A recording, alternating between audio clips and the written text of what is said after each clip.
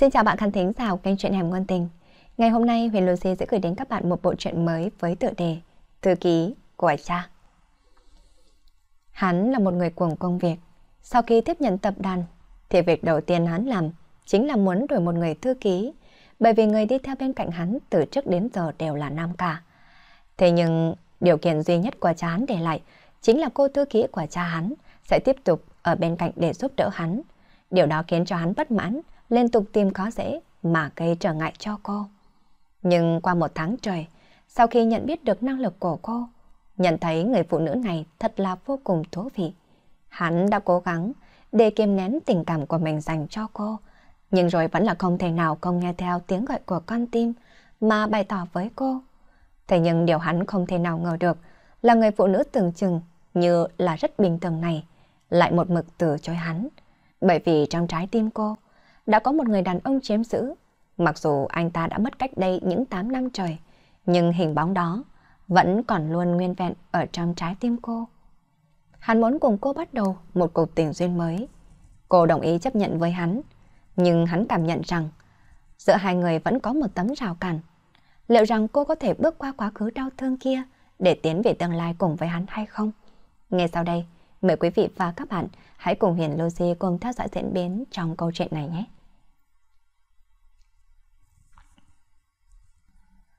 Bay ở trên độ cao, trên 3.000 thước Anh. Chỗ ngồi hết sức rộng rãi, đồ ăn cũng rất là ngon. Tiếp viên hàng không ân cần phục vụ rất là dễ chịu. Nhưng Gian Manh Manh không thể nào thả lòng được. Nguyên nhân làm cho cô không thể thả lòng là ngay bên cạnh cô. Nếu như chỉ là một khách hàng đáng ghét, thì cô cùng lắm ngủ vùi đầu hoặc là đổi chỗ ngồi. Nhưng hắn không phải là hành khách khiến người ta chán ghét, mà là lãnh đạo trực tiếp của cô, Nhiếp Thiên Kiệt, một tên bá đạo độc tài, ác ma không có lòng thương. Từ khi máy bay bắt đầu, mệnh lệnh của hắn đến nay vẫn chưa dừng lại. Cô thậm chí hoài nghi hắn căn bản là không cần ngủ. Dặn cô ghi nhanh dặn dò của hắn. Lưng của cô rốt cuộc mỏi nhừ, làm cho cô nghĩ muốn nằm xuống nghỉ ngơi ngay lập tức. Nếu như bình thường, cô có thể xem nhẹ cái khó chịu này, chuyên tâm để mà làm việc. Nhưng ngày hôm nay thì không được, bởi vì ngay trước chuyến bay này nguyệt sự của cô đã đến. Cuộc sống hai tháng bận rộn này làm cho thời gian hành kinh của cô lộn xộn. Lần này nguyệt sự đã muộn gần một tháng, đau đớn cũng phải cấp hai bình thường. Cho dù cô đã uống thuốc giảm đau, nhưng đen đuổi vẫn là đau không thôi. Cấp trên cố tình không dừng công việc, cô căn bản là không có cơ hội để mà nghỉ ngơi. Nếu có thể nói, cô thật muốn bảo hắn câm miệng lại. Nhưng mà không đúng, phải thưởng cho hắn hai bàn tay mới có thể loại bỏ mối hận ở trong lòng. Hai tháng làm việc chung với nhau, hắn không ngừng gây cho cô rất nhiều phiền phức, không ngừng áp bức cô, muốn cô biết khó mà lui. Nhưng cô vẫn nhẫn nại chịu đựng, bởi vì cô không nghĩ làm cho tên đầu heo này đẹp lòng vừa ý. Chính là lần này cô thực sự không chống đỡ được nha. Quản lý à? Cô khép lại bản ghi chép cất lời. Nếu không còn việc gì nữa thì tôi nghĩ... Còn có một đống việc cần phải xử lý. Nhếp Thiên Kiệt miễn cưỡng vương chén rượu, không hề nề tình mà cắt ngang lời của Giang Manh Manh. Cô quyết định đoạt lại chén rượu trên tay của hắn, hướng đầu hắn ném tới, đương nhiên. Cái này chính là tưởng tượng. Cô nén giận nói. Sau khi máy bay còn có rất là nhiều việc bận, tôi cần ngồi thêm một chút. Cô không tính toán cùng hắn đi phòng vèo, cùng hắn làm chung trong hai tháng, đã khiến cô học được một việc, chính là có nói chuyện thẳng thắn, nếu không hắn chắc chắn là làm ngơ. Nhiếp Thiên Kiệt bỗng nhìn hiểu ra, cố ý ngắm cô một cách kỹ lưỡng. Tôi không nghĩ tới sức khỏe của cô lại kém như vậy đó. Lời nói của hắn khiến cho cô thật sự là muốn đâm cho hái hai sao. So với giám đốc, thể lực của tôi quả thực là rất kém cỏi. Cô cố ý dừng lại. Chức vị quản lý này đối với anh mà nói thì là quá nhỏ. Như vậy đi, phía dưới rất nhiều người đang thi hành. Tôi giúp quản lý đi đăng ký, anh nhất định sẽ giành giải nhất trở về. Nhiếp Thiên kiệt đầu tiên là dừng rốt, rồi sau đó lập tức bật cười ha ha. Giang manh manh trừng mắt liếc hắn một cái, mặc kệ hắn. Thật là xin lỗi không thể tiếp chuyện được, tôi cần phải đi toilet một chút. Không để cho hắn có cơ hội nói cô lời châm chọc, cô rất nhanh liền đứng dậy, muốn cách xa hắn thật xa. Nhưng vừa mới đứng lên, trước mắt lập tức hoa, nàng lắc lư thiếu máu khiến cho nàng ngất hoa cả mắt. Cô có sao không? Thành âm của Nhất Thiên Kiệt ở bên tai Giang Manh Manh vang lên. Trong khoảng thời gian ngắn, cô không chú ý tới cái gì không hợp lý. Chờ cô phục hồi lại tinh thần, mới phát hiện hắn đang nắm vai của cô. Hai người dựa vào nhau hết sức gần gũi. Cô nhất thời kiếp sợ, lập tức rời từng bước một. Tôi không sao, cảm ơn quản lý đã quan tâm. Cô lễ phép nói xong rồi hướng tới toilet đi tới. nhịp tiền kiệt có một chút đăm chiêu nhìn sang manh manh. Hắn vừa mới có cảm giác cô rôn nhẹ nhẹ, là thân thể của cô không được thoải mái sao? Hắn ngồi ở quang thượng vu thật là rộng rãi. Tiếp viên hàng không ân cần hỏi hắn có cần cái gì hay không. Tiếp viên hàng không tên là Lệ Toa, phục vụ thực là chu đáo, nhưng có khi thật là quá mức chu đáo. Hắn lắc đầu tỏ ý là không cần, nhưng Lệ Toa vẫn chưa vì vậy mà rời đi, cùng hắn nói thêm mấy câu nữa. Đây không phải là lần đầu tiên bị tiếp viên hàng không ân cần hỏi han như vậy. Hắn biết cô ta muốn gì, nhưng hắn cũng không nghĩ muốn cùng cô ta phát triển tình yêu. Hắn biết bộ dạng của mình coi như là không tồi, gia thế bối cảnh cũng tốt, từ nhỏ đến lớn, kinh nghiệm theo đuổi lại càng dành. Cho dù là tới Mỹ rồi, bên người vẫn là công ít oanh oanh yến yến. Bất quá, hắn luôn luôn chỉ quan hệ ngắn ngủi cho có hứng thú. Nếu như bình thường, lệ tòa chính là một lựa chọn không tồi. Nhưng hắn hiện tại không có tâm tình này, mà nguyên nhân làm choán vô tâm chính là Giang Manh Manh. Hiện tại, hắn muốn chính là cô, mà không phải bất cứ một cô gái nào khác cả. Hai tháng trước, hắn từ Mỹ trở về tiếp quản xí nghiệp của gia tộc. Giang Manh Manh là thư ký của cha hắn. Sau khi cha về hưu, hắn tiếp quản chức vụ quản lý, nhân tiện tiếp nhận thư ký này. Ngay từ đầu, hắn rất muốn đem thay thế cô. Hắn không thích phân công thư ký nữ. Không phải là hắn có phân biệt đối xử, mà là trước kia hắn từng dùng một thư ký khác, kết quả là trải qua một cơn ác mộng. Cho nên sau đó, hắn chỉ đồng ý cho trợ lý nam đặc biệt đi theo hắn mà thôi. Thế nhưng cha của hắn không đáp ứng, nói hắn đổi ai cũng không có ý kiến, nhưng nhất định là không thể đổi sang manh manh. Ngay từ đầu hắn còn tưởng rằng Giang Manh Manh là tình nhân của cha hắn, đối với cô không có hảo cảm, cũng làm khó dễ cô ở khắp mọi nơi, hy vọng cô sẽ biết khó mà lui. Không nghĩ tới cô lại chịu đựng đến tận bây giờ. Hơn nữa hắn không thể không khâm phục năng lực công tác của cô. Không nói nhiều, ngắn gọn, nhanh nhẹn, làm việc không dài dòng, hắn thích tác phong cởi mở thẳng thắn ấy. Sau khi biết cô không phải là nhân tình của cha hắn, hắn phát hiện chính mình đối với cô bắt đầu có hứng thú. Về phần nguyên nhân hành động chậm chạp này là bởi vì hắn không thích công và tư, không được phân biệt. Một tháng qua, hứng thú đối với cô không giảm mà ngược lại càng ngày càng tăng, làm cho hắn cảm thấy có một chút buồn rầu. Nếu lập cùng cô phát triển quan hệ nam nữ, hắn tin tưởng nhất định hắn sẽ vì cô mà mang đến phiền toái. Nhưng là hắn biết trong lòng, tiếng gầm của cỗ phản đối này càng ngày càng nhỏ. Ngược lại là thanh âm muốn cô càng ngày càng tăng mạnh. Ngay khi Nhất Thiên Kiệt hết sức trầm tư, Giang Manh Manh đã trở về. Hắn cố ý quan sát sắc mặt của cô, phát hiện có một chút tái nhợt. Cô ngồi xuống, hắn lập tức cất tiếng hỏi. Cô không sao chứ? Cảm ơn quản lý đã quan tâm. Tôi không sao. Nếu như anh không ngại, tôi muốn nghỉ ngơi một chút. Cô đem tấm thảm đắp ở trên người. Được rồi. Hắn gật đầu, nhìn chăm chú vào hai mắt đang nhắm lại của cô. Nghiêm túc mà nói, cô cũng không phải là đặc biệt xinh đẹp, ngũ quan cũng không vượt trội, nhưng cô có khí chất trầm tĩnh, có phong tình của chính cô, làn da trắng nõn, dáng người ở mức trung bình, cái đầu so với hắn mà nói có một chút nhỏ xinh. Cô luôn đem chính cách ăn mặc của mình cẩn thận tỉ mỉ quy củ, tóc chỉnh tề ở phía sau đầu, còn có cặp mắt đen kẹp chặt lại, bảo đảm là không có một sợi tóc hạ xuống. Tầm mắt của hắn di chuyển tới ngực của cô. Cô không phải là nữ nhân có ngực đầy đặn, nhưng kết hợp mức độ, đường cong ở lưng thật là mềm mại, đôi chân cũng thực là cân xứng. Phát hiện có một luồng nhiệt hướng tới bụng mà đi. Nhất Thiên Kiệt xa rời tầm mắt, làm cho chính mình tỉnh táo lại. Mấy giờ kế tiếp, hắn một mực quan sát cô, bộ dáng cô ngủ càng tăng thêm phần ôn nhu. Có khi cô ở trong mộng phát ra một ít âm thanh vô nghĩa, tự hồ là ngủ không an toàn. Tấm thảm của cô rơi xuống, hắn muốn cô được tốt, tới gần cô, đã ngửi được mùi hương hoa hồng ở trên người cô. Hắn vì cô đắp tấm thảm, cô thoáng giật mình, lông mi nhẹ nhàng kích động. Hắn biết cô tình, qua về dựa lưng ở ghế dựa, nhìn thấy cô đang làm biếng, gợi lên một mặt cười, mí mắt rung động vài cái rồi sau đó rốt cuộc cũng mở mắt ra. Bộ dáng của cô mang theo một vài tia gợi cảm. Hắn phát hiện chính mình, ngón tay nắm bóp chén rượu càng đau. Hắn uống rượu, cố gắng áp chế dục vọng ở trong người. Hắn quyết định không chính mình đi đánh trận. Hắn muốn cô, cũng quyết định hay với cô. Bất quá, hắn biết chính mình một phen hao phí khổ tâm bởi vì cô với hắn tự hồ là không có hào cảm. Đương nhiên chính cha hắn cũng phải chịu trách nhiệm. Hai tháng này hắn biểu hiện thực xứng với danh hiệu thân sĩ, càng chưa nói đến thân hảo thích. Bất quá, hắn quyết định từ giờ phút này phải trở nên thay đổi. Tinh thần của Giang manh manh rồi rào tỉnh lại. Lại không biết nàng ngủ mấy giờ rồi. Người bên cạnh nàng đã muốn có thay đổi lớn. Thật là vừa vặn kịp thời gian để đưa cơm. Nhiếp Thiên Kiệt mở miệng nói, hơn nữa 2 giờ nữa sẽ hạ xuống rồi. Đúng là kịp lúc. Nàng chưa nghĩ hết liền ngáp vài cái, ở sau lưng đứng dậy rửa mặt. Nhiếp Thiên Kiệt nhìn về phía biển mây ngoài cửa sổ, không tự giác mà chén rượu trong tay lặng trọng. Hắn phải bắt đầu kế hoạch để mà dụ dỗ. Sau khi xuống máy bay, hai người đáp xe về khách sạn. Trong lúc Giang Manh Manh mơ hồ cảm thấy có một chút không thích hợp, nhưng lại không thể nói rõ là có chỗ nào không thích hợp. Cuối cùng cảm thấy Nhiếp Thiên Kiệt giống như là liên tục nhìn cô. Phòng của hai người cách vách, cũng giống một lần cô đưa hắn đến châu Âu công tác. Kỳ thật, cô không thích đi công tác, du lịch đường dài thật sự là mệt chết người. Bất quá đây là công việc của cô, không thích thì cũng phải làm. Sau khi trở về phòng, cô lập tức tắm nước nóng để cô tẩy thả lòng cơ thể. Kỳ thật cô chính xác muốn làm ngay bây giờ là được ngâm mình trong vòng nước ấm, làm cho cơ thể trầm tĩnh trở lại. Đáng tiếc, tình huống hiện tại của cô không thể ngâm nước.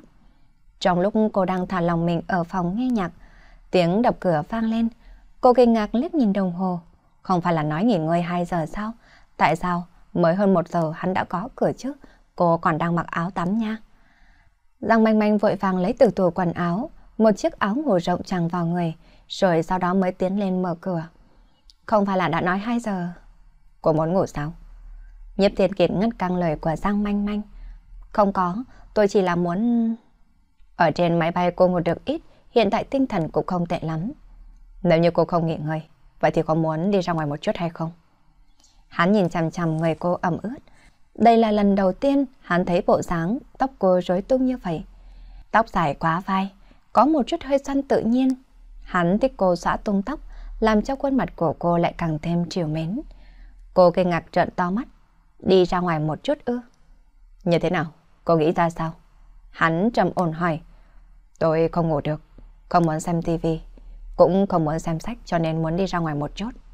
Nhưng mà tôi... Nàng có điểm có xử. Nếu như cô không muốn đi thì quên đi. Hắn nhún nhún vơi làm bộ vô tình nói. Tôi biết cô không thích ở chung với tôi. Tôi rất hay gây sự, nhưng mà không sao. Dù sao tôi có thói quen ở một mình, cô cứ đi nghỉ ngơi đi. Tôi đi một mình cũng không sao cả. Trong lời nói của hắn làm cho cô không hiểu sao lại dâng lên một cảm giác ái náy. Biểu hiện của cô rõ ràng như vậy sao? Công nhận là cô cực kỳ không thích hắn ưa ngạnh, thái độ áp bức. Nhưng mà... Ai, cô thở dài rồi cất tiếng nói. Thôi được rồi.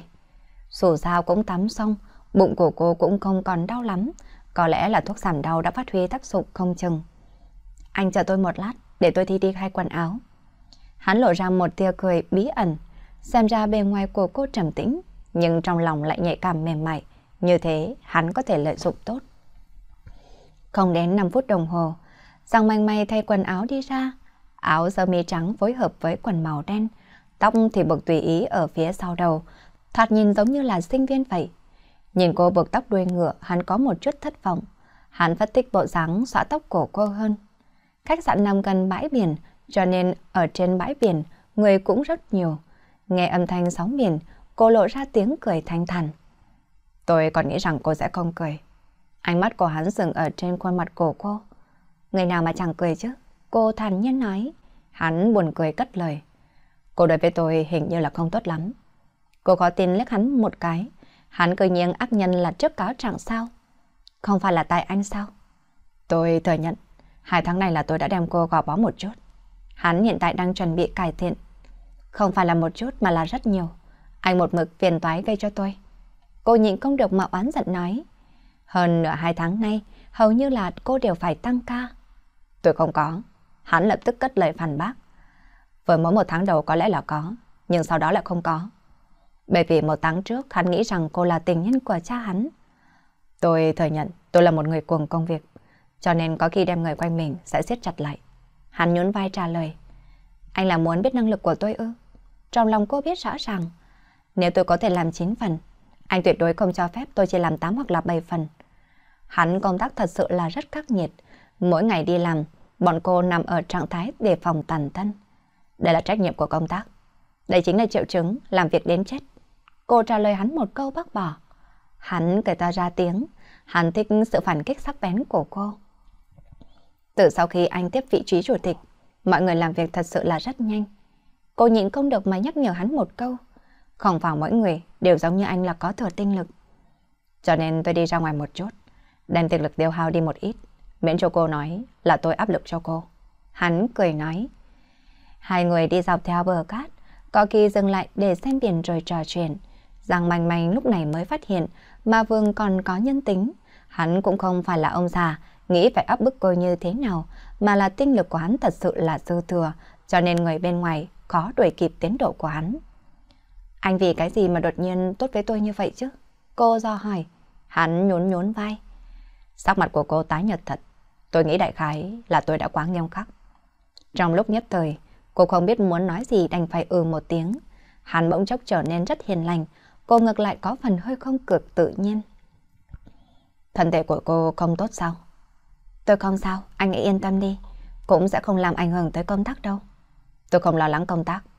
Cô nháy mắt, không lo lắng cho công tác, ý muốn là lo lắng cho thua sao?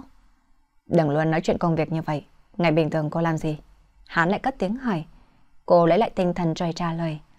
Không có gì cả, chỉ là xem sách, nghe một chút nhạc, có khi sẽ leo núi. Leo núi ư? Chính là leo lên núi Dương Minh một chút, cũng không phải là thật sự trèo lên. Là đi cùng với bạn trai sao? Hắn cố ý hỏi, hắn biết cô không có bạn trai, hồi trước hắn đã cùng cha thám tính qua. Là tôi đi một mình. Cô mất tự nhiên trả lời, cô không có thói quen nói chuyện riêng tư. Hắn cực kỳ thành thạo không hỏi tiếp, thuận miệng tan ngẫu về đề tài khác đi. Hắn cảm giác cô đối với hắn vẫn là có một chút cảnh giác. Ai bảo hai tháng này, hắn đối với cô rất là nghiêm khắc, hiện tại chỉ có thể từ từ xoay chuyển trở về. Sau khi tàn bộ nửa giờ, hai người mới thoải mái trở về khách sạn, bắt đầu một hành trình bận rộn. Thời gian kế tiếp, Giang Manh Manh vội vàng thiếu chút nữa, ngay cả thời gian cơm trưa cũng không có, mà hành trình dày đặc, ví dụ là đi học tuần tra nhà xưởng, tham gia thương vụ nghiên cứu và thảo luận hội. Mãi cho đến 6 giờ chiều, hành trình mới gần như là kết thúc. Tiếp theo đại biểu đại diện công ty Mỹ muốn mang bọn họ đến pub để thả lòng, nhưng thể lực của cô đã muốn cạn kiệt. Hành trình liên tiếp bận rộn làm cho bụng của cô bắt đầu không thoải mái. Cô cắn răng nhìn xuống không dám thả lòng. Một hồi đến khách sạn, cô lại bắt đầu đổ mồ hôi lạnh. Trước mắt cũng hiện ra năm cánh sao. Cô đang muốn chống đỡ vào vách tường thì một cánh tay rắn chắc nắm chặt lấy tay cô. Cô không sao chứ? Cô lắc đầu nói không ra lời. Vừa thấy sắc mặt trắng bệch soạn người của cô, hắn đem cô ôm ngang rồi tiến vào thang máy. Tôi không có việc gì, mau thả tôi xuống đi. Cô vô lực nói. Tôi bây giờ buông tay cô, cô sẽ tế xỉu đó. Hắn lo lắng nhíu mày. Cô rốt cuộc là làm sao vậy chứ? Tôi đã gọi bác sĩ đến khách sạn nha. Tôi không cần. Mồ hôi lạnh của cô vẫn tát ra. Hắn không trả lời, ra khỏi thang máy thì thực triết đem cô ôm vào trong phòng mình, cầm lấy điện thoại gọi cho tiếp tân, gọi bác sĩ lại đây. Đừng gọi mà. Sang manh manh nhịn đau cất lời. Xin anh đừng lo, tôi không phải là bệnh nặng gì đâu. Nhất Thiên Kiệt lớn tiếng nói. Cô rôn gần chết, lại còn muốn cậy mạnh sao? Tôi không phải là cậy mạnh. Cô không nói không được. Vạn nhất, hắn đem thầy thuốc mời đến thì không phải chuyện bé xé ra toa sao? Tôi, tôi chỉ là đau sinh lý, không cần phải kêu bác sĩ đâu. Nghe cô nói mà Nhất Thiên Kiệt ngây ngần cả người, thật sự là không đoán nguyên nhân là việc này. Phiền anh hãy dọi giúp tôi một ly sô-cô-la nóng. Cả người của cô cuộn thành hình tròn, chờ mồ hôi lạnh thoát ra. Nhiếp Thiên Kiệt lập tức gọi tiếp tân đem lên một ly sô-cô-la nóng lên, rồi sau đó cúi đầu hỏi thăm khuôn mặt nhỏ nhắn tái nhợt của cô. Lo lắng, cô lại toát ra mồ hôi lạnh vì cô đắp chăn. Cô còn có muốn cái gì nữa không? Cô không nói chuyện toàn thân trơn rầy, hắn lại lo lắng hỏi. Cô như vậy thật là không lo sao? Tôi thấy hay là cứ gọi bác sĩ đi. Không cần, đừng đi. Hắn sốt ruột đi thong thả, rồi lại đi thong thả, cầm lấy điện thoại với quầy khách sạn kêu gào. Muốn bọn họ động tác nhanh lên. Sau khi điện thoại treo lên, hắn phát hiện cô tự hồ không còn phát run nữa. Cô không sao chứ? Hắn lung lay cô hỏi. Anh... anh không tệ bế. Để cho tôi nghỉ ngơi một chút được không? Manh manh yếu ớt nói. Được rồi. Hắn lại bắt đầu khẩn trương thong thả bước đi, ánh mắt không dám rời khỏi bộ dáng ở trên giường. Giang manh manh nghe thấy Niệm nhìn Kiệt ở ngoài cửa kêu gào, còn có khí lực, cô nhất định sẽ cười. Tính tình hắn thật là quậy mà. Cả ngào nóng đến đây, mau uống nhanh đi. Hắn trở về bên giường rồi đem cô ôm dựa vào người hắn. Nghe giọng hắn giống như đem ca cao nóng như là thần dược. Nghĩ đến cô chỉ cần uống một ngụm thì sẽ trở nên kinh xí rồi rào. Nghĩ đến đây, Giang manh manh nhịn không được mà muốn cười. Cô chậm rãi uống cà cao nóng, chất lỏng ấm áp tiến vào dạ dày. Cô cảm thấy khí lạnh trong cơ thể cũng chậm rãi bị tàn ra. Như thế nào? Hắn sốt ruột hỏi. Cô không trả lời, lại uống thêm một ngụm. Hắn cảm giác quần áo của cô có một chút ướt. Cô vừa mới vã ra không ít mồ hôi. Tôi chưa thấy qua, có người đau sinh lấy như vậy. Cô lại uống một ngụm rồi sau đó mới nói. Anh cũng không phải là con gái, tất nhiên là không biết đúng rồi. Cô xác định là cô không bị mắc bệnh khác chứ? Hắn hỏi. Không có. Cô tức giận nói một câu. Trước kia cũng đã từng xảy ra. Chỉ cần một tháng quá mệt mỏi, lại chưa ăn gì sẽ như vậy. Tôi đã từng hỏi bác sĩ. Bác sĩ nói là không có vấn đề gì cả. Nghe cô nói thì hắn nhíu mày. Cô có thể báo cáo cho tôi biết một câu. Nếu không hôm nay tôi sẽ không... Đây là công việc của tôi. Cô nói ngắn gọn một câu. Tôi đã tốt hơn nhiều rồi. Ngày mai cô ở khách sạn nghỉ ngơi đi. Hắn cất lời. Ngày mai tôi không cần nghỉ ngơi. Nhưng mà buổi tối ngày hôm nay tôi không muốn đi pub. Cô nghĩ là muốn ở trong phòng nghỉ ngơi. Vậy thì tôi sẽ bảo với bọn họ chúng ta sẽ không đi. Anh có thể đi được mà. Cô lập tức nói. Không cần, tôi cũng rất lớp mệt. Hắn như thế nào lại có thể để cô ở khách sạn một mình chứ? Nhớ may cô cảm thấy không thoải mái thì phải làm sao đây? Cô nghi ngờ liếc hắn một cái, lại còn nghiêm túc nói. Tôi thật sự là ổn rồi mà. Quản lý à, anh nên đi ra ngoài thả lòng một chút đi. Tôi nói tôi mệt rồi. Hắn trợn mắt liếc cô. Cô tức giận không thèm nói lại, tiếp tục uống ca cao nóng. Đương nhiên cô phát hiện chính mình đang dựa vào trong ngực hắn, khuôn mặt đỏ lên lập tức ngồi thẳng. Là có chỗ nào không tốt nữa sao? Hắn lập tức phát hiện cô đang ngồi ngay ngắn lại. À không, tôi khỏe rồi, tôi trở về phòng đây. Cô vội vã nhớ tới bản thân mình. Không cần phải gấp như vậy đâu. Hắn đưa tay đè nén bà vai của cô lại. Quản lý à, tôi... Hiện tại không phải là thời gian đi làm. Cô cũng không cần phải gọi tôi là quản lý. Hắn ngắt ngang lời nói của cô. Tôi đã khỏe hơn nhiều rồi, tôi có thể... Cô lại sợ tôi sao? Hắn cố ý hỏi. Cô lập tức bình tĩnh trở lại. Tôi không có sợ anh. Tôi đã muốn tốt hơn nhiều rồi. Tôi cần phải về phòng của mình. Nói rồi cô ngay tức khắc rời giường. Vừa bước xuống sàn nhà, hai chân của cô liền vô lực sao động. Hắn lập tức đem cô ôm trở về giường. Tôi không sao. Cô có thể im miệng một chút hay không hả? Hắn ôm lấy cô rồi ra lệnh. Hắn đem cô đặt ở trên giường. Còn người đen cùng với mặt cô cách nhau có mấy tấc. Mặt cô lập tức đỏ, nhưng vẫn là cô giữ vẫn trấn tĩnh nói. Tôi thật sự là tốt rồi mà. Anh không cần phải dựa vào tôi gần như vậy đâu.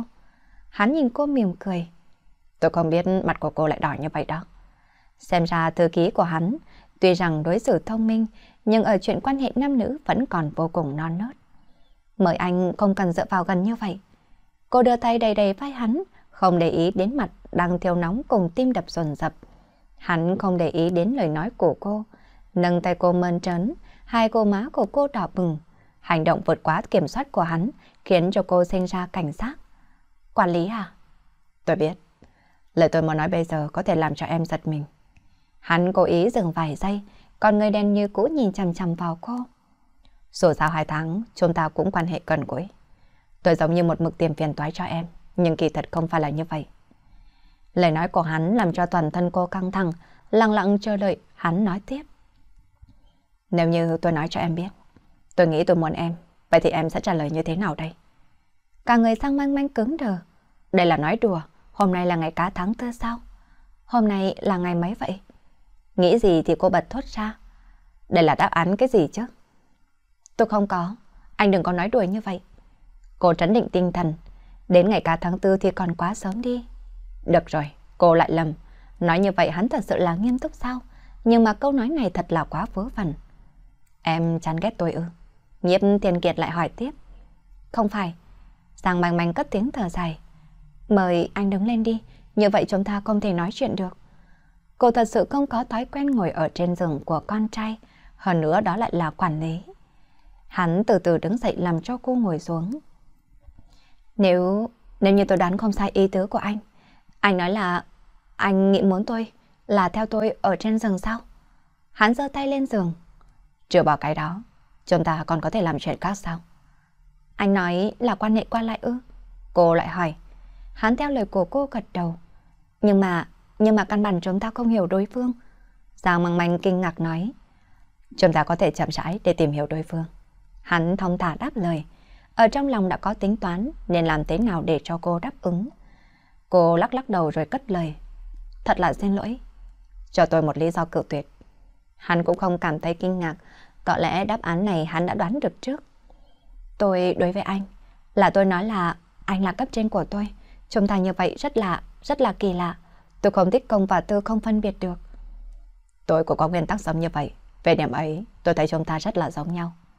Hắn nhìn khuôn mặt ửng hồng của cô một cách chăm chú. Tôi đã phải trải qua một phen đấu tranh ở trong lòng mình. Nhưng mà rất là xin lỗi. Như vậy chúng ta đã đem sự tình biến thành phức tạp. Tôi không thích chuyện phức tạp. Em có thai với người khác sao? Thấy cô không trả lời hắn tự mình nói. Nếu thật sự không phải là như thế, thì vì cái ra chúng ta lại không thể thử xem chứ. Cô kinh ngạc mà đưa mắt nhìn hắn. Tình cảm không phải là đồ vật này nọ, không thể làm dùng thí nghiệm được. Vậy thì em nói cho tôi biết, trước kia em nói yêu nhau là như thế nào hả? Thì đương nhiên là cảm thấy hai bên vui vẻ, vì thích nhau nên mới qua lại với nhau. Thật không? Sau đó thì sao? Vì cái gì mà chia tay chứ? Hắn lại cất tiếng hỏi. Ánh mắt của cô tối sầm nhìn xuống dưới.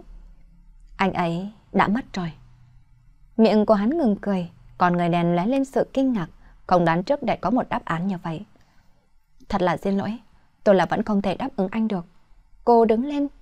Chuyện này, tôi sẽ làm như chưa từng xảy ra. Chúng ta vẫn là quan hệ cấp trên và cấp dưới. Đợi đã. Hắn đứng dậy đi theo rồi trăng mày lại. Tôi không nghĩ tới, ý của tôi nói là... Tôi biết. Cô nở ra một nụ cười cực nhạt rồi cất lời. Tôi không sao cả, chúc anh ngủ ngon. Hắn muốn ngăn cô để giải thích, nhưng một câu cũng không thể phát ngôn được, chỉ có thể trơ mắt nhìn cô rời đi. Giang manh manh vừa đi, hắn lập tức mắng chính mình. Hắn không thể đoán được sự tình lại biến thành như vậy. Hắn nghĩ ra một kế hoạch đi bước kế tiếp. Hắn có tự tin cuối cùng mình có thể chinh phục được cô, nhưng lại không thể rề rằng ở trên đường lại xuất hiện một sai lầm như vậy. Hắn bước đi ở trong phòng thông thả ung dung. Hắn cần phải nghĩ biện pháp để làm xoay chuyển tình thế mới được. Một ngày trôi qua, Nhếp Thiên Kiệt phát hiện ánh mắt của Giang Manh Manh có vẻ sưng lên, hình như là đã khóc, nhưng hắn không xác định cô vẫn còn khóc hay không. Nghĩ đến cô rơi lệ thì trong lòng của hắn có một cảm giác quái gì.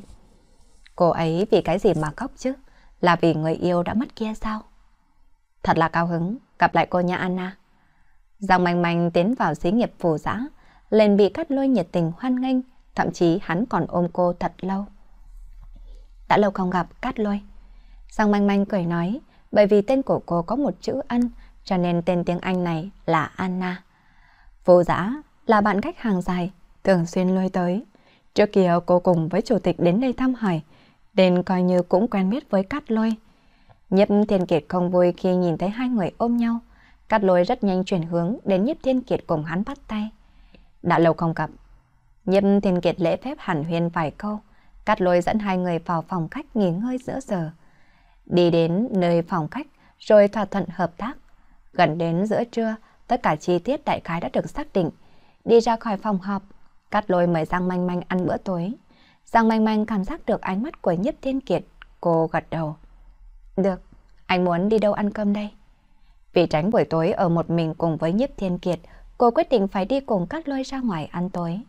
Cát Lôi rất là hài hước, ở chung một chỗ với hắn, ngược lại cô có thể là lòng tinh thần. Cô không giống là muốn ở cùng một chỗ với Nhất Thiên Kiệt, cảm giác như là luôn bị buộc chặt đến sắp cãi rời. Buổi chiều vẫn là hành trình bận rộn, Giang Manh Manh cùng nhiếp Thiên Kiệt hầu như chưa nói với cô một câu nào. Ở trong lúc đó, hai người đối thoại chính là công việc, nhưng là cô vẫn có cảm giác ánh mắt của hắn nhìn cô nóng rực từ đầu tới chân.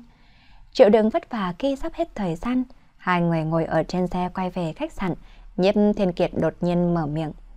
Nhìn em giống như là muốn thỏa mãn. Cái gì chứ? Cô không rõ hắn đang nói cái gì. Cùng với cắt lôi ăn cơm. Thật ra, em muốn đáp ứng thỏa mãn sao? Nhiếp Thiên Kiệt chịu đựng tức giận nói. Anh ấy là bạn tốt của tôi. Cô nhìn ra bên ngoài cửa sổ cất lời. Có thật không? Giọng điệu của hắn tuy rằng bình thản, nhưng ở trong ngực có một luồng bực bội dâng lên. Nếu cô nghĩ muốn có người làm bạn ăn bữa tối, vậy thì cô có thể tìm hắn mà không phải là cắt lôi. Câu hỏi của hắn làm cho cô không biết phải trả lời thế nào cả, cho nên lựa chọn im lặng để mà chống đỡ. May mắn hắn cũng không hỏi nữa, không khí bên trong xe im lặng, có một chút căng thẳng. Giang manh manh nhìn chằm chằm bên ngoài cửa sổ, đối với hai người hiện tại rất là mất tự nhiên khi ở chung. Không khí thật là đau đầu. Trước kia tuy rằng ở chung, nhất thiên kiệt không tốt, nhưng ít ra không khí cũng không cứng ngắc như vậy, hiện tại lại biến thành như vậy. Cô cúi đầu nhìn thấy tay của mình, rồi sau đó giơ lên nụ cười yếu ớt, thử đánh vỡ hàng rào của hai người. Buổi tối anh muốn làm cái gì? Đây là công việc của thư ký, lấy thân phận để tra hỏi sao?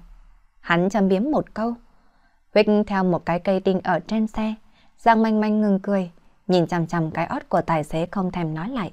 Hắn liếc cô một cái. Như thế nào? Là lo lắng một mình tôi ăn cơm nhạt chán, hay là sợ tôi cô đơn chứ? Anh không cần, phải âm dương kỳ quặc như vậy. Cô căm tức, liếc hắn một cái. Tôi âm dương kỳ quặc ư? Hắn cơi mi lông mi. Đúng vậy. Tôi làm sao lại âm dương kỳ quặc chứ? Nói rõ đi. Hắn là một bộ mặt thái độ. Anh so với cái con trời, tôi còn thấy hơn đó. Từ nhỏ đến lớn muốn cái gì thì có cái đó. Không thích người khác cự tuyệt, cũng không biết xử lý như thế nào khi bị cự tuyệt. Cô chịu đựng sự tức giận cất lời. Ý của em nói là, tôi vì vậy em cự tuyệt cho nên mới âm dương kỳ quặc sao? Còn người đàn của hắn tắt ra lửa mặn. Bằng công, dì cả và mẹ của anh đều đến đây. Cô tức giận mà trả lời. Hắn dừng sốt bỗng nhiên cười thơ ra tiếng, nỗi tức giận biến mất khỏi khoảng không. Hắn cười, ở bên trong xe có một chút thoải mái hơn. Giang manh manh may mắn là tài xế căn bản không nghe hiểu bọn họ đang nói chuyện gì. Nếu không thì cô sẽ vô cùng xấu hổ. Sau khi hắn cười to, hắn lại nhìn cô chằm chằm. Tôi thích em sắc bén và lẫn hài hước. Tôi chẳng có gì là hài hước cả. Dù sao chúng ta cũng là cộng sự. Tôi không hy vọng không khí trong lúc này lại căng thẳng như vậy. Tôi không biết là không khí có căng thẳng. Đúng là nói dối trắng trợn mà. Cô trừng mắt liếc hắn một cái.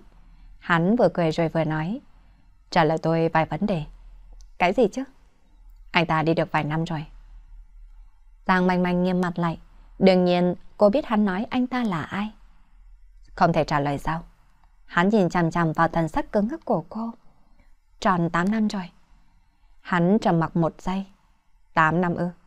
Ý của em nói là từ lúc đó đến tận bây giờ cô không thể nào yêu một ai khác sao? Cô căm tức trừng mắt hắn rồi liếc một cái. Đây là việc của tôi. Quả nhiên là không có. Cô chuyển hướng nhìn ra ngoài cửa sổ không thèm để ý đến hắn nữa. Em có biết thời gian đó đã là quá dài hay không? Chuyện này cũng không liên quan đến anh. Cô lạnh lùng nói. Thì sao chứ? Em muốn cả đời em, đều vì người đã chết mà uổng phí sao? Hắn không hiểu sao lại dâng lên một cỗ tức giận. Tôi đã nói rồi, đó là chuyện của tôi. Cô tức giận đáp lại. Hắn cũng tức giận vì cái tính cố chấp của cô, xoay người làm cho cô phải đối mặt với hắn. Em sốt ruột là đang nghi suy nghĩ cái gì hả? Buông, chuyện của tôi, để tôi tự giải quyết. Cô dãy ruột tránh thoát. Em cảm thấy được tình yêu rất là vĩ đại sao? Em làm như vậy thấy đẹp đẽ lắm sao hả? Hắn lớn tiếng để mà hỏi cô. Trong lời nói kích tướng của hắn làm cho cô lại càng tức giận hơn. Cô chưa kịp suy nghĩ thì đã giương tay, thưởng cho hắn một cái bạt tay, làm cho cả hai người đều ngần cả người. Giang manh manh cảm thấy trong lòng bàn tay đau đớn, huyết sắc treo ở trên mặt như là rút bỏ. Tôi, tôi xin lỗi, tôi không cố ý. Nhiếp tiền kiệt không nói chuyện, còn người đèn lóe lên hừng hực ngọn lửa, tự hồ như là muốn tiêu đốt cô, bản năng cô lấy tay ấn vào mặt hắn. Tôi, tôi thật là xin lỗi. Hắn bỗng nhiên đáp xuống, giống như là diều hâu bình thường quắp lấy miệng cô, làm cho âm thanh của cô biến mất trong miệng của hắn. Thời gian có vài giây cô căn bản không thể phản ứng, chỉ cảm thấy lời lẽ của hắn đang thăm dò. Đương nhiên cô ý thức được hơi thở của hắn, cô bắt đầu sãi rùa. Hắn hôn cô mang theo sự trừng phạt và tức giận, còn một lý do nữa hắn không thể nào lý giải được. Vì vậy, khi cô bắt đầu phản ứng thì hắn buông cô ra. Hai người căm tức lẫn nhau, hô hấp trồn trọng dồn dập, trong ngực rất nhanh phập phồng. Cô trực giác, giơ tay tát, muốn nghĩ tắt thêm một lần nữa.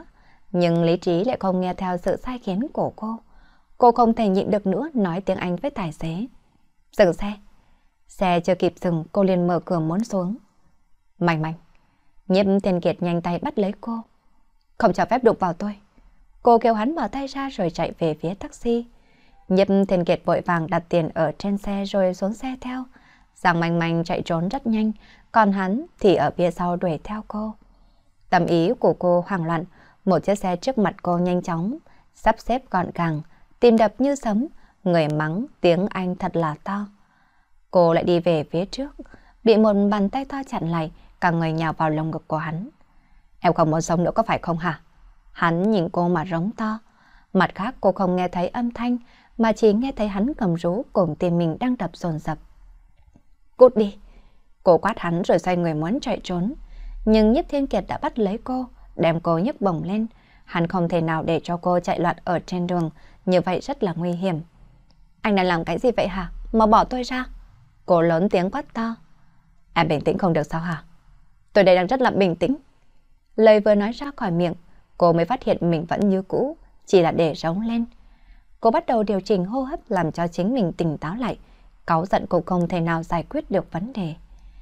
Đi bộ trở về, hắn mới buông cô xuống. Ngón tay vẫn như cũ cắt cao bám chặt vào cánh tay cô, để phòng ngừa cô lại chạy loạn. Hai trong mắt của cô lóe lên lửa hừng hực. Tôi từ chức, tôi không muốn hợp tác với anh nữa. Hắn đối với lời nói của cô mắt điếc tai ngơ. Đây có phải là em không? Vì một người con trai đã mất mà không cần tính mạng nữa. Trong lời nói của hắn làm cho cô nắm chặt tay. Tôi đã nói rồi, đây là việc của tôi, phiền anh hãy bỏ tay ra. Tôi vì cái gì phải cầm lấy tay em? Em nghĩ rằng tôi và em đều muốn sao hả? Hắn tức giận hỏi. Tôi cũng muốn buông tay ra, nhưng là tôi không thể. Em nghĩ rằng tôi và em quen biết nhau hơn một tháng. Muốn buông là dễ dàng buông sao? Lời hắn nói làm cho cô khiếp sợ. Em căn bản không phải là mẫu người tôi thích. Hơn nữa từ trước tới nay, nguyên tắc của tôi là công tư rõ ràng. Em nghĩ tôi là người gì? Là kẻ chuyên môn làm phiền thư ký sao? Hay là em nghĩ rằng tôi không nghĩ sẽ buông em ra sao hả? Hắn lớn tiếng nói. Cô cứng ngắc người nhìn hắn. Theo nhận định của cô, hắn là người có tâm ý dục vọng, chưa từng nghĩ đến hắn có lúc phản kháng. Em nói đúng, tôi không muốn chấp nhận lời cự tuyệt, nhưng em cũng chỉ nói đúng một nửa. Tôi không có biện pháp, chấp nhận chính là em là người cự tuyệt tôi. Còn người của hắn đen bén lửa, mà cô vẫn không một câu có thể nói được. Nếu em vì hắn mà từ bỏ cả rồi, tôi không có tư cách gì để nói cả. Tôi chỉ hy vọng em cho tôi một cơ hội mạo hiểm một chút. Hắn buông cánh tay của cô ra. Lời tôi muốn nói chính là câu này. Hãy nghĩ lại. Tôi không thể quyết định thay em. Nhưng nếu em muốn có tương lai thì không chờ một tia chờ mong. Không có một tia vui mừng. Cho tôi một cơ hội cũng không có gì là tổn thất, đúng không? Cho tôi một cơ hội cũng không có gì tổn thất ư. Những lời nói không ngừng quanh quẩn trong đầu của Giang manh manh. Khi ăn tối cùng cắt lôi, cô vẫn bị những lời nói này quấy nhiễu. Làm sao thế? Có chuyện gì phức tạp sao? Giang manh manh lấy lại tinh thần, vẻ mặt thân thiết đối với cắt lôi mà lắc đầu. À, không có gì, xin lỗi. Buổi hôm nay tôi lại nghĩ vơ vẩn rồi. Cát lôi nở ra một nụ cười nham nhở. Không sao cả, thoải mái là tốt. Giang manh manh lại lấy ra vẻ tươi cười. Nhận thức cát lôi tới nay, hắn vẫn rất là hoạt thuận dịu dàng. Cùng với hắn thật là yên tâm, không giống ở chung với tên nhất thiên kiệt kia, cảm giác rất là gò bóng. Nhưng mà tại sao bây giờ cô lại nghĩ đến hắn chứ? Có chuyện gì mà khiến cho cô phải khổ sở như vậy chứ? Cát lôi lại cười hỏi. Cô lắc đầu, bởi vì cô không có thói quen cùng với người khác thảo luận việc tư. Không có việc gì cả. Là chuyện công việc sao? Cô lắc đầu. Thì ra là tình cảm. Hắn lập tức nói. Đừng hiểu lầm. Tôi không phải là người chuyên xem vào chuyện tình cảm của người khác. Chính là quen biết với cô vài năm. Dù cô có như thế nào, tôi đều có thể tự nhận ra sự khác biệt. Có chuyện khiến cho cô phiền lòng. Đương nhiên là tôi có chuyện phiền lòng rồi. Nhưng mà... Nhưng khi nói hết ra, phiền muộn cũng sẽ hết đó. Hắn cười nói. Quả thật là không có gì. Chỉ là có một người làm cho người ta có tâm điểm phiền ý loạn mà thôi. Đây là chuyện tốt. Cát lôi thật sự cất lời. Nghe thấy vậy thì Giang Manh Manh có hiểu nhìn hắn. Cô thả lòng người một chút. Bàn luận tình yêu và vân vân. Đừng cho là tôi không nhìn ra. Nhưng là tôi vẫn muốn cô tự nói. Cô kinh ngạc nhìn hắn. Cô có biểu hiện rõ ràng như vậy hay sao? Vài năm nay công ty chúng ta có bao nhiêu đồng nghiệp nam. Nghĩ muốn cùng với cô ra ngoài ăn cơm. Cô tất cả đều cự tuyệt cả mà cô lại đồng ý đi cùng với tôi. Là bởi vì cô biết tôi không có ý đầu gì với cô cả. Giang manh manh thở dài không phủ nhận.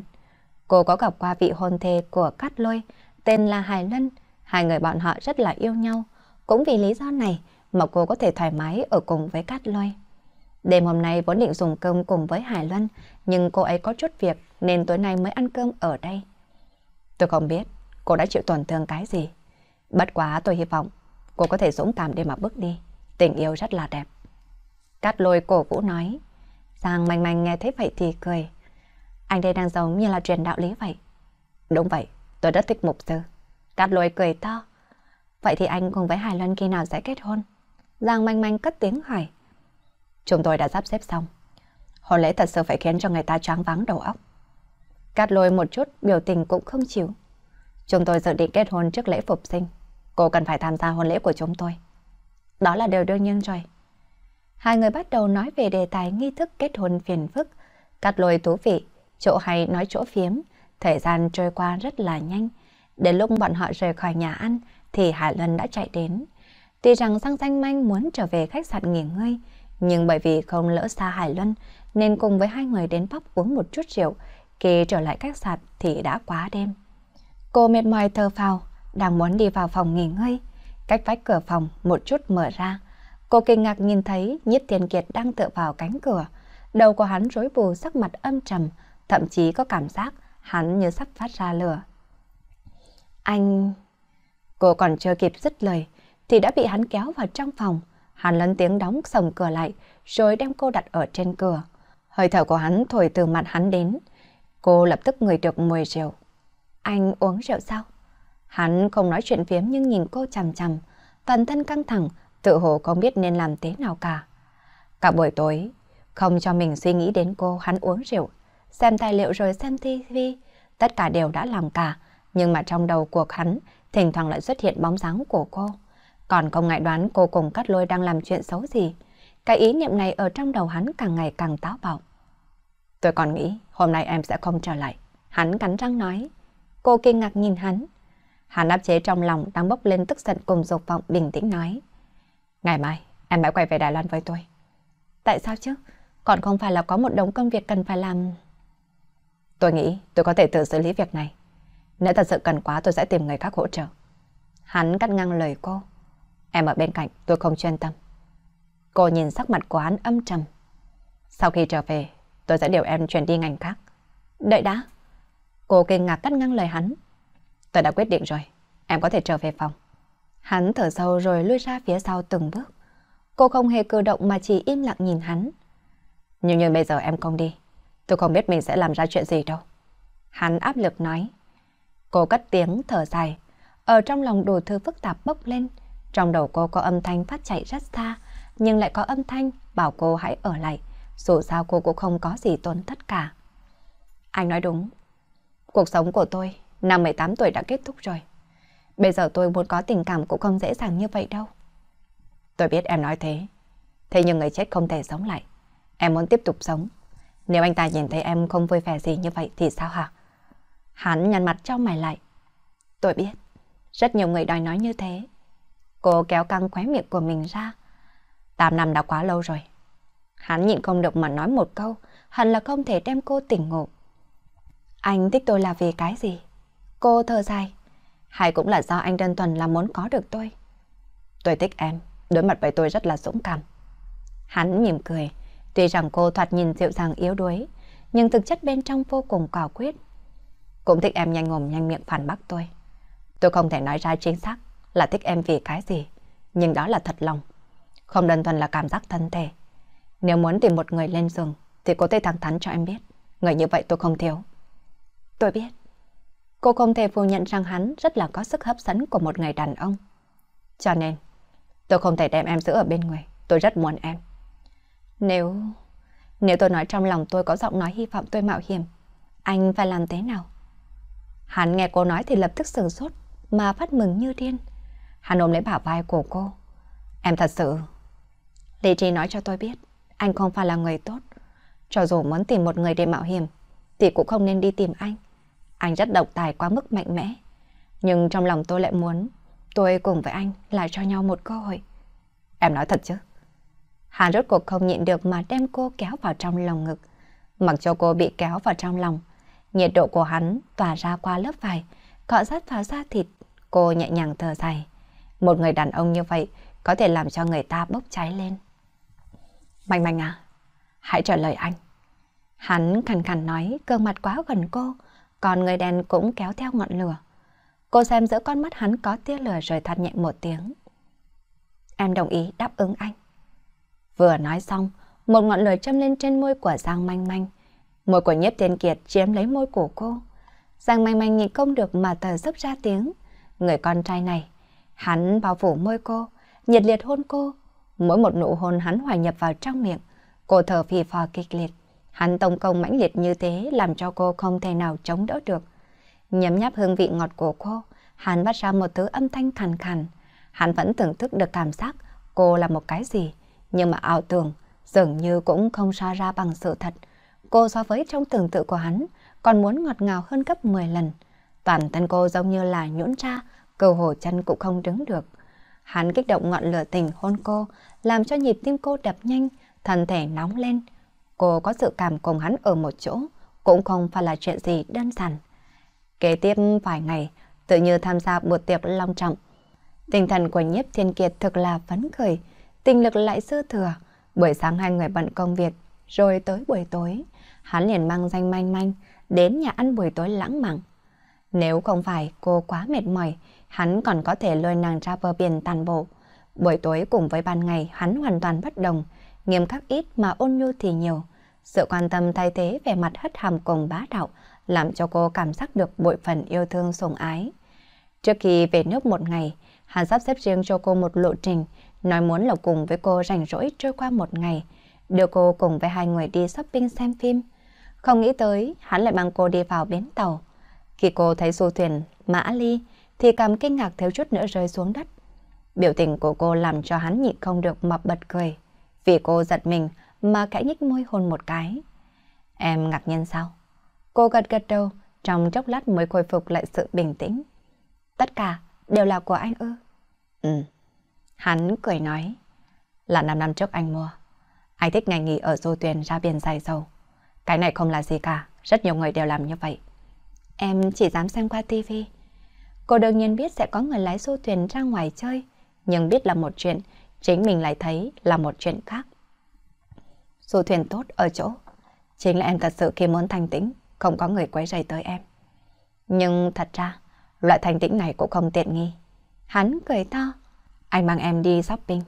Ngày hôm qua anh đã muốn gọi cho em, nên dự định chuẩn bị thật tốt. Cô đi theo hắn xuống khoang thuyền, quả nhiên phát hiện chuẩn bị tốt không ít đồ ăn và rượu ngon. Hắn điều khiển du thuyền rời khỏi bến tàu. Cô đứng ở bong tàu ngắm nhìn cảnh sát xung quanh.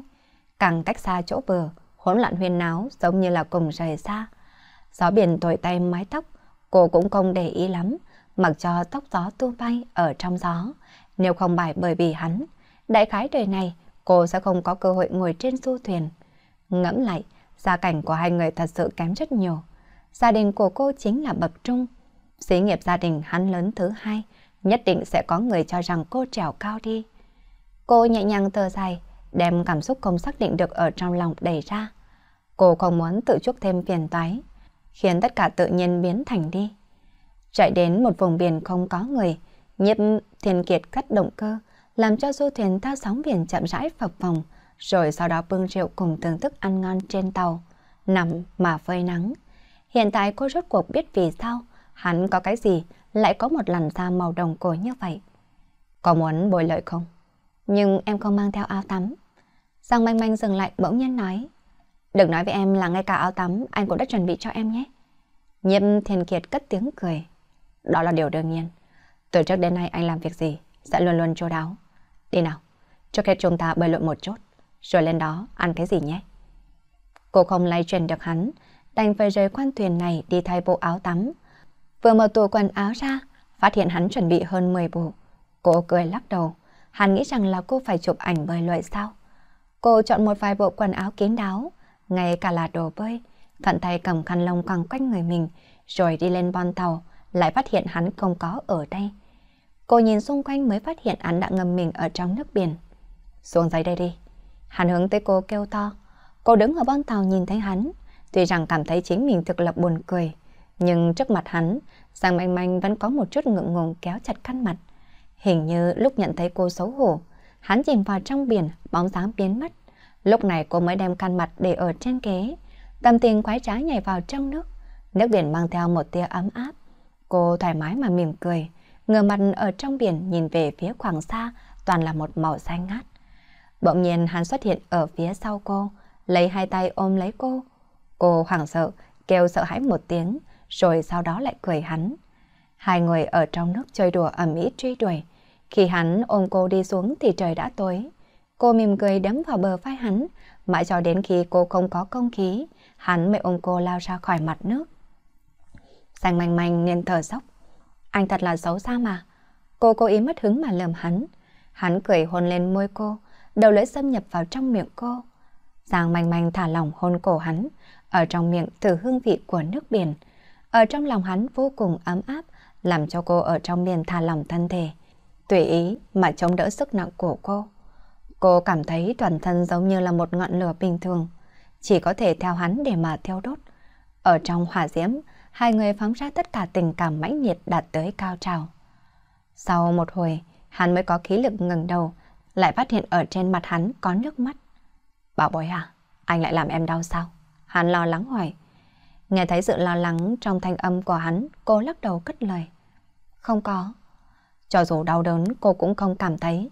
Hắn mang đến vui sướng thật là quá mạnh mẽ. Cô không có cảm thấy được cái gì là không khỏe. Tưởng tượng đến tình cảnh vừa rồi, hắn mới vừa lấy lòng cô, thì cả khuôn mặt của cô đỏ hồng lên. Hắn cười rồi ôm chặt cô. Anh không cho em cảm thấy đau. Cô không nói chuyện, chính là đem mặt trôn ở cổ hắn. Anh cảm thấy được, anh giống như là rất muốn em. Nghe thấy vậy cô kiếp sợ ngần đầu. Anh nói cái gì chứ? Anh nhất định là điên rồi. Biểu tình của Giang Manh Manh làm cho hắn cười to, thế mới biết là hắn đùa cô. Cô tức giận đấm hắn một cái, cầm lấy khăn tắm quàng lên chính mình. Đừng che, anh thích nhìn em. Lần này cô thông minh, hắn bắt lấy tay cô đè xuống giường, lại cùng hắn ở trên giường. Nói không chừng chờ một chút, hắn thật sự sẽ tới đây, cô cũng không chống đỡ được. Hiện tại hai cái đùi của cô, tựa như là trái cây đông lạnh đều không có một chút sức lực. Em nghĩ em phải ăn cái gì đó, em đói bụng rồi. Giang manh manh vội vàng đi ra ngoài, hắn cũng đành phải đứng dậy, đi theo phía sau cô. Ra sau bồn tàu, cô phát hiện hắn trắng trợn không mặc quần áo, đỏ mặt mà quay đầu đi. Anh mặc xong quần áo được chưa hả? Cô nhặt quần bơi ở trên bon tàu. Anh đều tắm nắng như vậy, em nên thử xem. Hắn bỗng nhiên từ sau ôm lấy cô rồi hôn một cái. Để anh giúp em phơi nắng. Em không cần. Cô dãy rủa Mau thả em ra. Không cần ư. Tại sao em lại muốn đẩy anh ra chứ? Đó là tại anh cố ý làm cho em xấu hổ. Giang manh manh cảm thấy được hắn căn bản là cố ý. Hắn cười khẽ rồi hôn vành tay của cô. Anh thích nhìn bộ dáng khi xấu hổ của em. Cái này cùng với bộ dáng bình thường của cô, quả thực là khác nhau một trời một vực. Giang manh manh trừng mắt liếc hắn một cái. Anh rốt cuộc là có cho em ăn cái gì hay không hả? Hắn hôn cô một chút rồi mới buông cô ra. Cọp mẹ đói bụng, thôi được rồi. Chờ một chút nữa chúng ta sẽ tiếp tục. Giang manh manh không khỏi xấu hổ, hắn vẫn đang là mặc quần bơi. Cô lúc này mới cảm thấy được sự tự do một chút, cùng với hắn ngồi xuống thưởng thức sandwich, cùng cảm nhận hương thơm lạnh. Gió biển thổi đến, làm cho sức lực của cô run lên. Cô đã một hồi lâu không thà làm như vậy. Cùng với hắn ở một chỗ, cái gì cô cũng không lo lắng, bởi vì hắn đem hết thảy đều chuẩn bị rất là khá, mà cô chỉ cần hưởng thụ là được rồi. Ăn cơm trưa xong, hai người nằm ở trên bon tàu phơi nắng, nghĩ đến ngày mai sẽ quay về Đài Loan. Dĩ nhiên cô có một chút luyến tiếc. Giang manh manh nhẹ nhàng thở dài, hy vọng thời gian có thể đứng im một cách, Nhưng cô biết là không có khả năng. Nghĩ đến người này, cô không khỏi lại thở dài. Làm sao vậy chứ? Tại sao em lại thở dài? Hắn cởi động thân thể cúi đầu hôn cô một chút. Không có gì, chỉ cảm thấy giống như là một giấc mơ thôi. Cô mỉm cười. Em thích cảm giác thả lòng này. Em bình thường thật là nghiêm khắc với bản thân mình.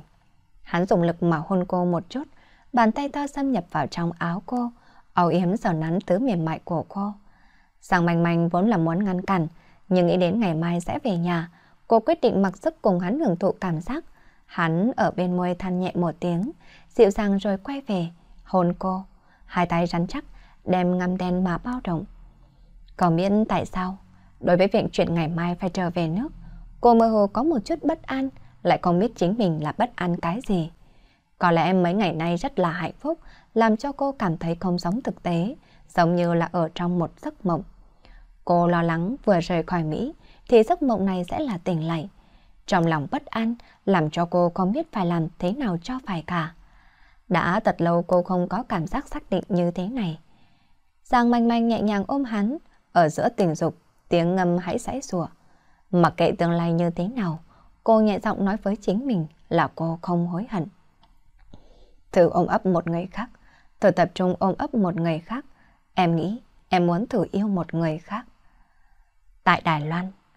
Trời ơi, mặt cô thật là đáng sợ. Với nắng như thế nào lại thành ra như vậy chứ? Nước Mỹ nắng hại như vậy sao? Vừa vào văn phòng thì xung quanh liền vang lên âm thanh quan tâm. Là do tại tôi quên bôi kem chống nắng. Giang manh manh trả lời. Trung quy cô không thể nói cho đồng nghiệp là bởi vì cô cùng quản lý ở trên bon tàu mây mưa mà bị phơi nắng đi. Tưởng tượng đến đây thì mặt cô đỏ bừng lên. May mắn là người phơi nắng, kiệt sắc mặt phiếm hồng, cho nên những người khác mới không nhận ra cô đang thẹn thùng. Gần như ngày đó cả ngày đều là hoan ái. Nhếp thiên kiệt tinh lực thật là quá mức dồi dào. Cô căn bản không có biện pháp mà ngăn cản hắn, khiến cô cảm thấy da mình nóng đỏ, đến khi đã không kịp bổ cứu rồi. Mặc dù là có kem chống nắng, nhưng da của cô rất dễ bị phơi nắng, cho nên rất nhanh, trứng tôm đã nấu chín. Kỳ thật hôm nay cô đã tốt lên rất nhiều, tất cả là có thể làm phương pháp chữa trị, bọn họ đều đã làm cả. Cô tin tưởng hai ngày sau sẽ tốt thêm một chút. Chạy tắt nhanh, đi đến ngồi sau chỗ ngồi. Cô cầm lấy cốc nước, dốc ở trên mặt, bổ sung hơi nước ở trên mặt. 5 phút đồng hồ sau, Nhếp Tiền Kiệt đi đến. Cô đi vào phòng. Giang manh manh thở sâu, cầm lấy giấy ghi việc, đi theo phía sau hắn. Hôm nay lịch trình của anh có... Từ từ đã. Hắn xoay người thuận tay đóng cửa lại. Anh gọi em vào, là không phải muốn em báo cáo lộ trình. Có chuyện gì sao? Cô dừng sốt. Mặt của em xem ra là tốt hơn nhiều rồi đó. Ngày hôm qua thật đúng là khiến hắn hoảng sợ. Mặt của cô đỏ như là quan công, hơn nữa còn hiện tượng bong tróc xa. Nếu biết cô dễ bị phơi nắng cháy nắng như vậy, hắn sẽ còn nán lại ở trên bong tàu. Để anh xem ra mặt của em như thế nào nào. Hắn nghiêng mặt mà hôn cô. Không có việc gì là tốt rồi. Giang manh manh xấu hổ đẩy tay hắn ra một chút. Chúng ta đâu có công việc cá nhân rõ ràng chứ. Anh biết. Một chút nữa anh sẽ gọi bộ phận quản lý vào. Giúp em bổ trúc một nhiệm vụ mới. Hắn lại hôn cô một chút. Giang manh manh gật đầu. Đây cũng là điều kiện lúc trước của cô. Nhưng còn lý do thì em phải tự nói. Hắn nhắc nhở cô. Em biết. Em sẽ nói hiện giờ rất là mệt mỏi. Cái này chính là trả lời thật. Hắn nhìn chằm chằm vào cô. Em xác định là như vậy sao? Không cảm thấy ủy khuất sao? Giang manh manh sừng sốt lập tức lắc đầu cười. Không đâu, em vốn dự định. Sau công việc này rồi sẽ nghỉ ngơi. Nghỉ ngơi ư? Vì cái gì chứ? Từ lúc học đại học em đã bắt đầu đi làm. Đã 6 năm không nghỉ. Muốn có một kỳ nghỉ dài hạn cho chính mình. Nghỉ ngơi một chút cũng không quá là hẹp hòi chứ. Đúng vậy. Hắn gật gật đầu đồng ý. Giang manh manh không nghĩ thời gian làm việc để làm việc cá nhân vì thế nói. Chúng ta nên làm việc thôi. Rồi nói cho anh biết lộ trình của ngày hôm nay. Cô mở giấy ghi việc bắt đầu báo cáo. Hai ngày kế tiếp, hắn khôi phục lại sự bá đạo, trở thành một tên cấp trên đáng ghét. Duy nhất có cái không giống, chính là cô không chịu nổi cái liếc mắt của hắn. Hắn nháy mắt với cô, cô tức giận, bắt đầu muốn biến mất khỏi tầm nhìn của hắn. An tâm, cô nhận được một cuộc điện thoại ngoài ý muốn. Alo, là em. Tào lệnh tề đây, chỉ có bận không? À không có, mới tan làm về. Nghe thấy thanh âm của Tào lệnh tề, Giang manh manh liền không tự giác mà trở nên nhu hòa. Vậy thì em có thể mời chị ăn tối không? Mời cậu ăn cơm ư? Đúng vậy đó. Em đã viết một bài văn, đóng góp tật săn của trường, không nghĩ tới lại được giải thưởng cao nhất. Tào lệnh tề giọng nói không giấu được sự hưng phấn. Thật sự, vậy thì chúc mừng cậu. Cô thiệt tình nói, tôi còn không biết cậu có thể viết được văn. Viết rất là dễ. Đi ra ngoài ăn cơm thì như thế nào? Được rồi, cùng lắm tôi là người nên mời cậu là được chứ gì. Nhưng mà hôm nay tôi có buổi tối có một chút việc. Tôi xem xem có thể hủy bỏ được hay không. Không cần đâu. Nếu như chỉ có việc thì ngày mai cũng được. Như vậy cũng được sao? Việc cậu đoạt xài chính là việc lớn. Như vậy đi, chúng ta hẹn trước 7 giờ gặp ở chỗ cũ. Nếu như có gì thay đổi, thì tôi sẽ gọi điện thoại cho cậu hủy bỏ nhé. Ok.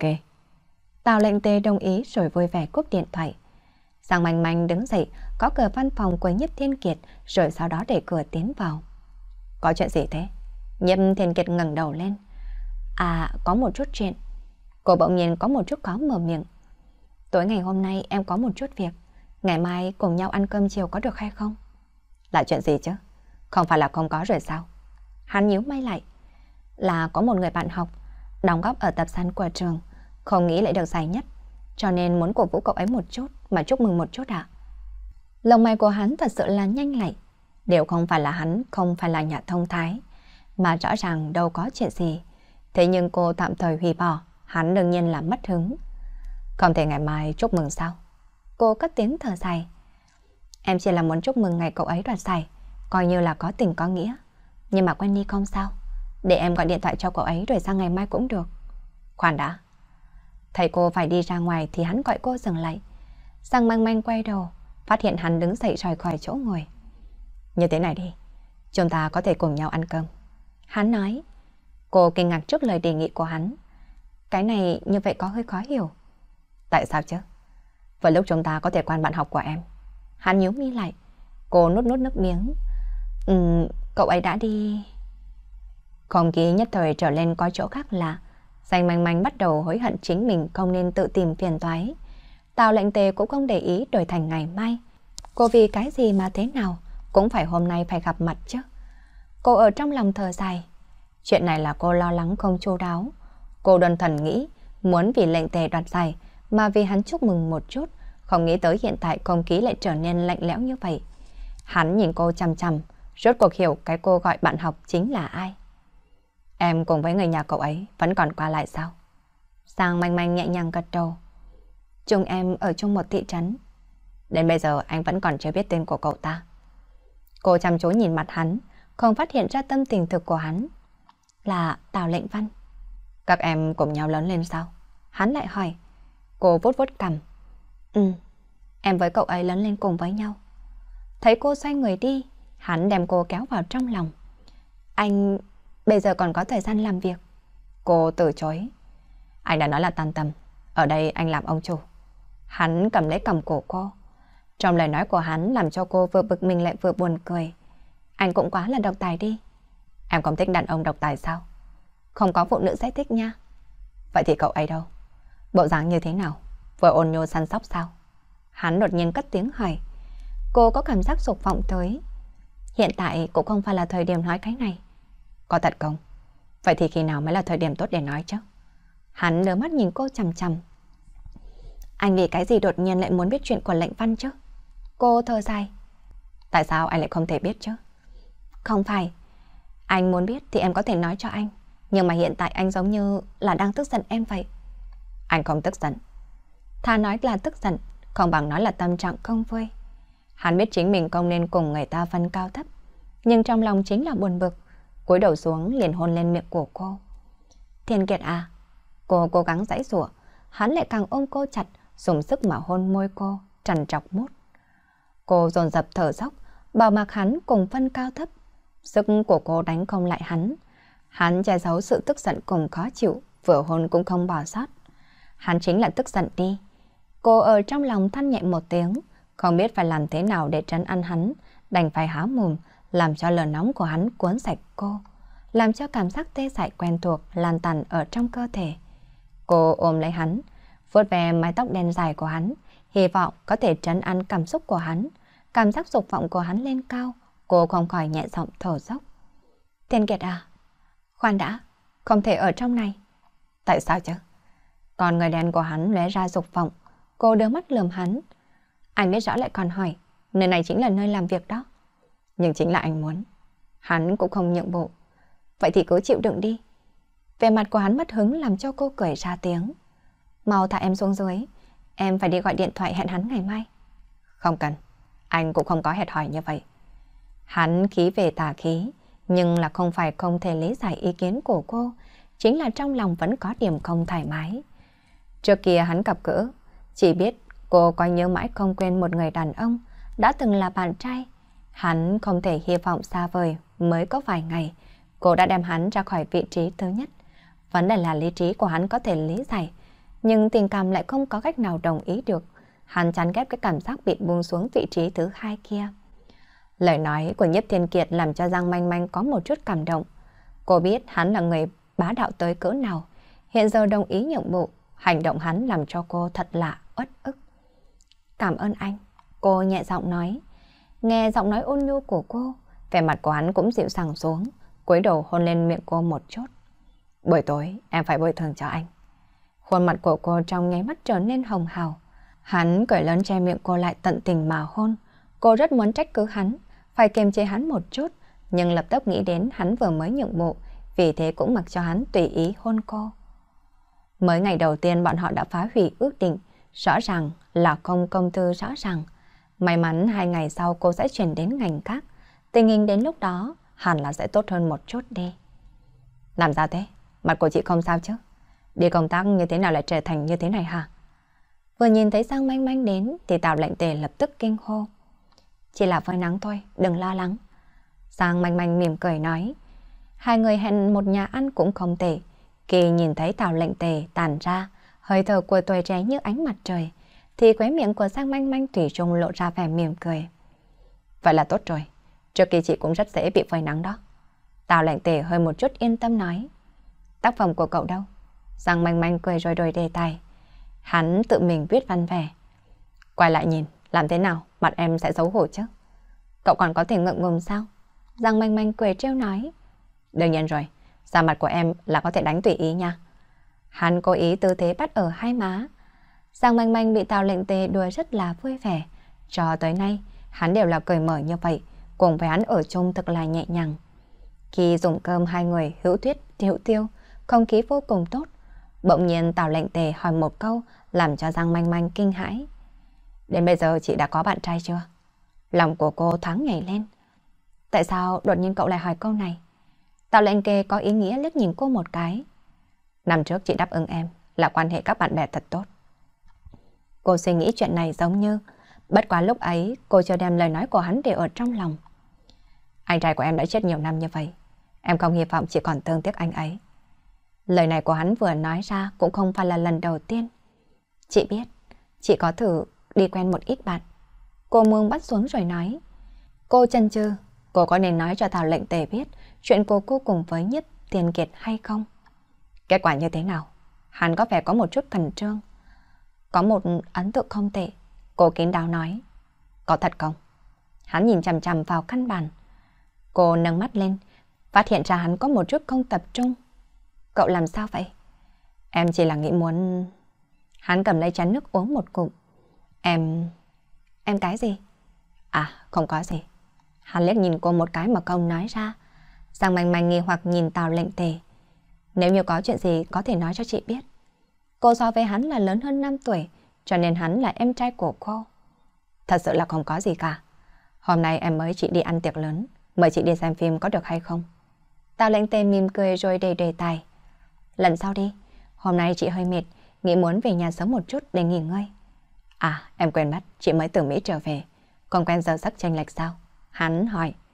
Không có, chị hôm nay muốn trở về giường sớm một chút, muốn được ngắm bình minh vào buổi sáng xem phim để lần sau nha. Tôi được rồi, vậy thì chị về nghỉ ngơi trước cho tốt, xem ra chị hơi mệt rồi đó. Hắn đề nghị đưa cô về, cô đáp ứng cho hắn lấy xe máy đưa cô về nhà. Ngồi ở phía sau hắn, bỗng nhiên nhớ tới tình cảnh trước kia, Tào lệnh văn đi xe đạp của cô. Lúc này nhớ lại khiến cho cô mỉm cười, cũng làm cho cô tự nhiên trầu rĩ. Bất quá, cũng không có cảm nhận cái tê buốt. Thời gian chậm rãi chữa khỏi miệng vết thương của cô. Cô nhẹ nhàng thở dài, không biết có nên tiến triển mà cao hứng hay không. Sau khi về đến nhà, cô đem mũ bảo hiểm trả lại cho hắn, dặn hắn phải đi đường cẩn thận. Em biết rồi, em sẽ đi cẩn thận. Hắn mỉm cười cam đoan với cô. Anh trai bị tai nạn ô tô mà chết, cho nên cô luôn luôn nhắc nhở hắn phải đi đường cẩn thận. Mạnh mạnh à, tao lệnh tê dừng lại rồi cất lời. Bài văn kia có thời gian chị xem nhé. Xem xong nói cho em biết chị có cảm nhận gì. Được rồi. Giang manh manh mỉm cười gật đầu. Thấy hắn đi cô mới lên lầu. Một hồi đi lên nhà thì di động kêu to. Alo, bây giờ em đang ở đâu? Đã ăn cơm chưa? Âm thanh của Nhất Thiên Kiệt trầm thấp từ trong điện thoại truyền đến, không hiểu làm sao lại cho cô mỉm cười. Vừa mới ăn xong, hiện tại đã về đến nhà. Để anh đi tìm em. Hắn có vẻ thật là cao hứng. Anh muốn đến đây ư, nhưng em muốn ngủ. Anh ngủ với em. Anh... Alo, alo. Cô nhớ mày. Người này như thế nào lại thành như vậy chứ? Căn bản là không nghe người khác lọt vào tai mà. Cô tức giận quay lại, không nghĩ tới hắn lại bắt lấy tay cô. Cái người này anh đúng thật là Không để cho anh mở cửa Nhìn xem anh như thế nào hả Cô không biết mắn hắn cái gì cả Cô tức giận đi vào phòng tắm Quyết định cho hắn một trận giáo huấn Tiếng chuông vang lên một hồi lâu Làm cho Giang Manh Manh cảm thấy đau đầu Cô ngồi ở trong bồn tắm ngâm mình Khi mà cô nghe thấy Nhiếp Thiên Kiệt bắt đầu kêu to tên của cô mà cố gắng gõ cửa Thì rốt cuộc cô cũng không chịu nổi Cô mặc áo choàng tắm vào, thờ hồn nên đi mở cửa Mở cửa xong liền nhịn không được mà cất tiếng mắng. Anh thôi đi. Nhìn thấy cô có vẻ mặt tức giận thì hắn sừng sốt lập tức nói. Tại sao em lại lâu như vậy mới mở cửa chứ? Thứ chút nữa anh phải báo cảnh sát đó. Báo cảnh sát ư? Anh báo làm gì chứ? Cô không thể tin được mà mắng một câu. Là anh nghĩ rằng em ở bên trong đã xảy ra chuyện. Nói rồi hắn tiến vào trong phòng. Cô tức giận đóng sầm cửa lại, quyết định cổ sở mà giải thích. Anh có biết anh không bao giờ nghe người khác nói không hả? Cô chống lạnh nhìn hắn một cách đầy giận dữ. Em đã nói rất là nhiều lần rồi. Hắn xoay người đem cô kéo vào trong lòng, rồi hôn lên miệng của cô một chút. Em như vậy thật là khiến cho anh rung động đó. Mái tóc của cô ẩm ướt, mặc áo tắm trắng, khuôn mặt đỏ bừng thật sự là vừa gợi cảm lại vừa đáng yêu. Anh mà buông em ra, em có lời muốn nói với anh, cũng không cần anh phải hôn em. Cô ở trong lòng tức giận dãy rủa, đè mặt sai lại. Anh mau ngồi xuống đây. Hắn nhíu mi lập tức cười ra tiếng. Bộ dáng của em tức giận thật là đáng yêu mà. Cô nghe thấy vậy thì suýt chút nữa bức hỏa. Anh cái người này thật là ngu ngốc. Anh rốt cuộc có nghe em nói chuyện hay không đó? Đương nhiên là có rồi. Vậy thì còn vì cái gì anh không còn qua đây? Cô càng nói lại càng lớn tiếng. Lời nói của em anh căn bản là không nghe. Lại còn cố ý nắm tay em. Anh thật sự là rất xấu xa mà. Lời nói của cô làm cho hắn nhíu mày lại. Anh xấu xa ư? Hắn không còn tươi cười nữa. Anh chính là như thế. Chưa bao giờ đem lời nói của em ghi vào trong lòng cả. Muốn làm gì thì làm. Như vậy anh ở chung với em như thế nào được đây? Cô vẫn còn tức giận. Là có ý tứ gì chứ? Mới một chút thời gian ngắn ngủi. Em đã không muốn ở chung với anh. Lại còn nói anh xấu xa sao? Theo như anh nói là em muốn ngủ. Bảo anh không cần qua đây. Anh căn bản là không nghe. Cô đưa mắt lườm hắn. Vậy thì hiện tại em là muốn anh đi sao? Hắn giận tái cả mặt. Anh phải đem lời nói của em để vào tay. Anh đây căn bản là không tôn trọng em mà. Cô nhớ mày lại. Anh không tôn trọng em sao? Hắn ở trong lòng đã thật sự bốc hỏa. Nếu như anh không tôn trọng em, buổi tối hôm nay sẽ không cho em đến nơi hẹn nữa. Anh lo lắng cho em, nghĩ muốn nhìn em còn bị em nói xấu xa sao? Em có nghĩ đến anh hay không hả? Không ngờ ở trong lòng em anh vĩnh viễn là không có một giá trị nào. Anh nghĩ trong lòng em chỉ có vĩnh viễn một mình anh ta thôi. Hắn cũng rống lên. Ngón tay của Nhất Thiên Kiệt duỗi ra phía trước, chỉ vào ảnh chụp ở quầy tivi. Sang manh manh vừa thấy ảnh chụp thì trong lòng nhất thần thất thẩm bất yên. Đó là ảnh chụp của Tào Lệnh Văn. Chính xác là ảnh cùng với cô chụp với Tào Lệnh Văn. Thời gian đông lạnh một cách bất an, hắn căm tức cô, qua vài giây mới nói thêm. Anh lo lắng em cùng cậu ấy ăn cơm xong, sẽ nghĩ đến anh ta mà buồn. Anh không yên lòng cho nên muốn giúp em. Kết quả, em nói anh xấu xa sao? Lời nói của hắn làm trong lòng cô nổi lên một trận áy náy. Em, em không biết, em... Tình anh quá nhiều chuyện, vậy anh sẽ đi. Nói rồi hắn đứng dậy rời đi. Thiên Kiệt à? Cô vội vàng đuổi theo mà kéo tay hắn lại. Thật là xin lỗi, em không biết. Em nghĩ thật là xin lỗi mà. Còn tức giận của hắn vẫn còn quá lớn. Quay đầu lại chỉ muốn mắng vài câu đã thấy cô cúi đầu thở dài. Trong lúc nhất thời trách móng ở trong người toàn bộ đều nghẹn ở ít hầu. Em thật không ngờ anh lại nghĩ như vậy. Thực là xin lỗi anh. Về mặt ánh náy của cô làm cho tâm của hắn nhất thời mềm nhuyễn. Quên đi. Dù sao thì anh cũng quên đi. Nói rồi hắn đem cô ôm vào trong lòng. Ở trong điện thoại, anh và em đã nói rõ ràng rồi. Anh không nghĩ sẽ cho em cơ hội cự tuyệt cho nên mới tắt máy. Hắn hôn mặt cô. Cô than nhẹ một tiếng, hàn giữ hơi thở của cô, một lấy hương vị ngọt ngào của cô. Cô há mồm cho đầu lưỡi của hắn tiến công thần tốc, nhấm nhắc vị rượu ở đầu lưỡi hắn. Hắn là bởi vì lo lắng cho cô mà uống rượu sao? Nghĩ như vậy cô không đành lòng mà thở dài. Hắn ôm lấy cô, thấp giọng hỏi phòng ngủ của cô ở đâu. Giang manh manh chỉ hai gian phòng hạng soàng, lập tức bây giờ thay đổi chủ ý. Đi gian thứ nhất. Tại sao chứ? Hắn nghi hoặc hỏi. Biểu tình của cô có một chút khó xử, dùng lại một chút rồi nhỏ giọng nói. Bởi vì phòng ngủ của anh chụp của Lệ Văn. Không khí nhất thời trở nên có một chút quỷ dị. Cô nhìn mặt hắn, không một chút thay đổi. Đang muốn giải thích, thì hắn lại ôm cô đi vào gian phòng thứ nhất, cúi đầu chiếm lấy miệng cô. Trong không khí ngập tràn mùi vị hoan ái, Nhâm Thiền Kiệt đem răng manh manh mềm nhũn vô lực ôm ở trên tường, cởi quần áo còn sót lại trên người hai người. Khi hắn trần trụi đem cô ôm vào trong lòng, cô cựa quậy. Vẫn còn không ngủ sao bảo bối. Anh có thương tổn đến em không? Hắn hôn cô đến mức sưng miệng. Lo lắng trong giọng nói của hắn làm cho cô ổn định tinh thần. Không có, em rất ổn. Chỉ có ngay từ đầu là có điểm không thoải mái về sau thì không. Hắn hơi thả lòng một chút. Anh không biết anh đang suy nghĩ cái gì. Anh cũng không cố ý. Em biết mà. Cô đem hai má dựa vào lồng ngực của hắn.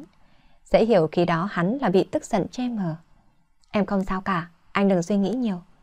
Hắn gối tay trái ra sau đầu, một tay kia vuốt ve tấm lưng bóng lắng của cô mà cất tiếng thở dài. Anh biết, có nhiều lúc anh tính tình hơi độc đoán, cả tính dường như là bá đạo, nhưng anh không phải là không để ý đến người khác. Em biết, cô lại dịu dàng đáp lại. Em nói đúng, tắt máy là anh không đúng, anh không muốn nghe em cự tuyệt. Không sao cả, tất cả đã là quá khứ rồi. Cô hiểu được hắn vì sao tức giận mà đến. Hắn xoay người đem cô đặt ở dưới thân, rồi cúi đầu hôn lên đôi môi cô. Em vốn nghĩ muốn đẩy anh ra, làm cho lòng anh phiền ý mà rối loạn hơn. Hắn chưa từng có loại cảm giác này. Thiên Kiệt à, anh hãy nghe em nói này. Em không phải muốn đẩy anh ra. Nếu em muốn đẩy anh đi thì em đã không đáp ứng quan hệ với anh. Chỉ là em cần một chút yên tĩnh, nghĩ một số việc mà thôi. Em muốn nghĩ cái gì chứ? Hắn không rõ mà cất tiếng hỏi. Em cũng không biết nữa. Căn bản anh không cho em một khoảng không gian. Em muốn suy nghĩ như thế nào đây? Cô nhíu mi lại. Hắn vớt ve cơ thể mềm mại của cô. Anh không thích em nghĩ. Một chút cũng là không. Hắn cắn ở bên máu của cô một cái. Cô buồn cười mà nói. Cái gì nói là không có chứ. Giống như em thật là nhàm chán. Cũng là tự mình tìm phiền não đi. Là anh lo lắng em tự mình tìm lấy phiền não đó. Anh không cần phải gánh các việc này cho em mà. Cô ôn nhu mà hôn đáp lại hắn. Hắn đưa tay ôm cô, cảm thấy rất là hài lòng, xoay người nằm xuống. Rất nhanh sau hoan ái là mệt mỏi, thả lòng mà tiến vào giấc mộng đẹp. Nghe thấy thanh âm của hắn thở, cô cũng thả lòng cơ thể rồi mỉm cười tiến vào giấc ngủ. Thái quý danh dựa đầu ở trên đầu bàn mà a lên một tiếng. Làm sao thế? Không thoải mái sao? Giang manh manh lo lắng nhìn thấy đồng sự vuốt ve cái bụng tròn xe. Thái quý doanh hồn hền thở mạnh. Thời kỳ mang thai sẽ là như vậy, có khi đột nhiên bụng sẽ co một chút. Vậy thì cô nghỉ ngơi đi, bản báo cáo tôi sẽ giúp cô đánh. Giang manh manh lập tức nói. Không cần đâu, sức khỏe của tôi rất tốt, cô đừng lo. Thái quý danh lấy trong ngăn kéo ra bánh bích quy rồi lén cắn một miếng. Hiện tại tôi phải khống chế cân nặng, nhưng mà miệng của tôi lại thật sự là không có biện pháp nha. Quý danh chìa ngắn tay béo tròn của mình ra. Cô nhìn xem đây này, bàn tay của tôi toàn là mỡ không đó. Giang manh manh cười rồi nói. Làm sao hả? Không sao, nhưng mà cô không thấy ngay cả nhẫn cưới của tôi cũng không mang được sao? Thái quý danh thơ dài một tiếng thật là to. Đó là hội chứng bị phù. Khi sinh xong cô sẽ gầy trở lại thôi. Giang manh manh cất tiếng ăn ủi cô ấy.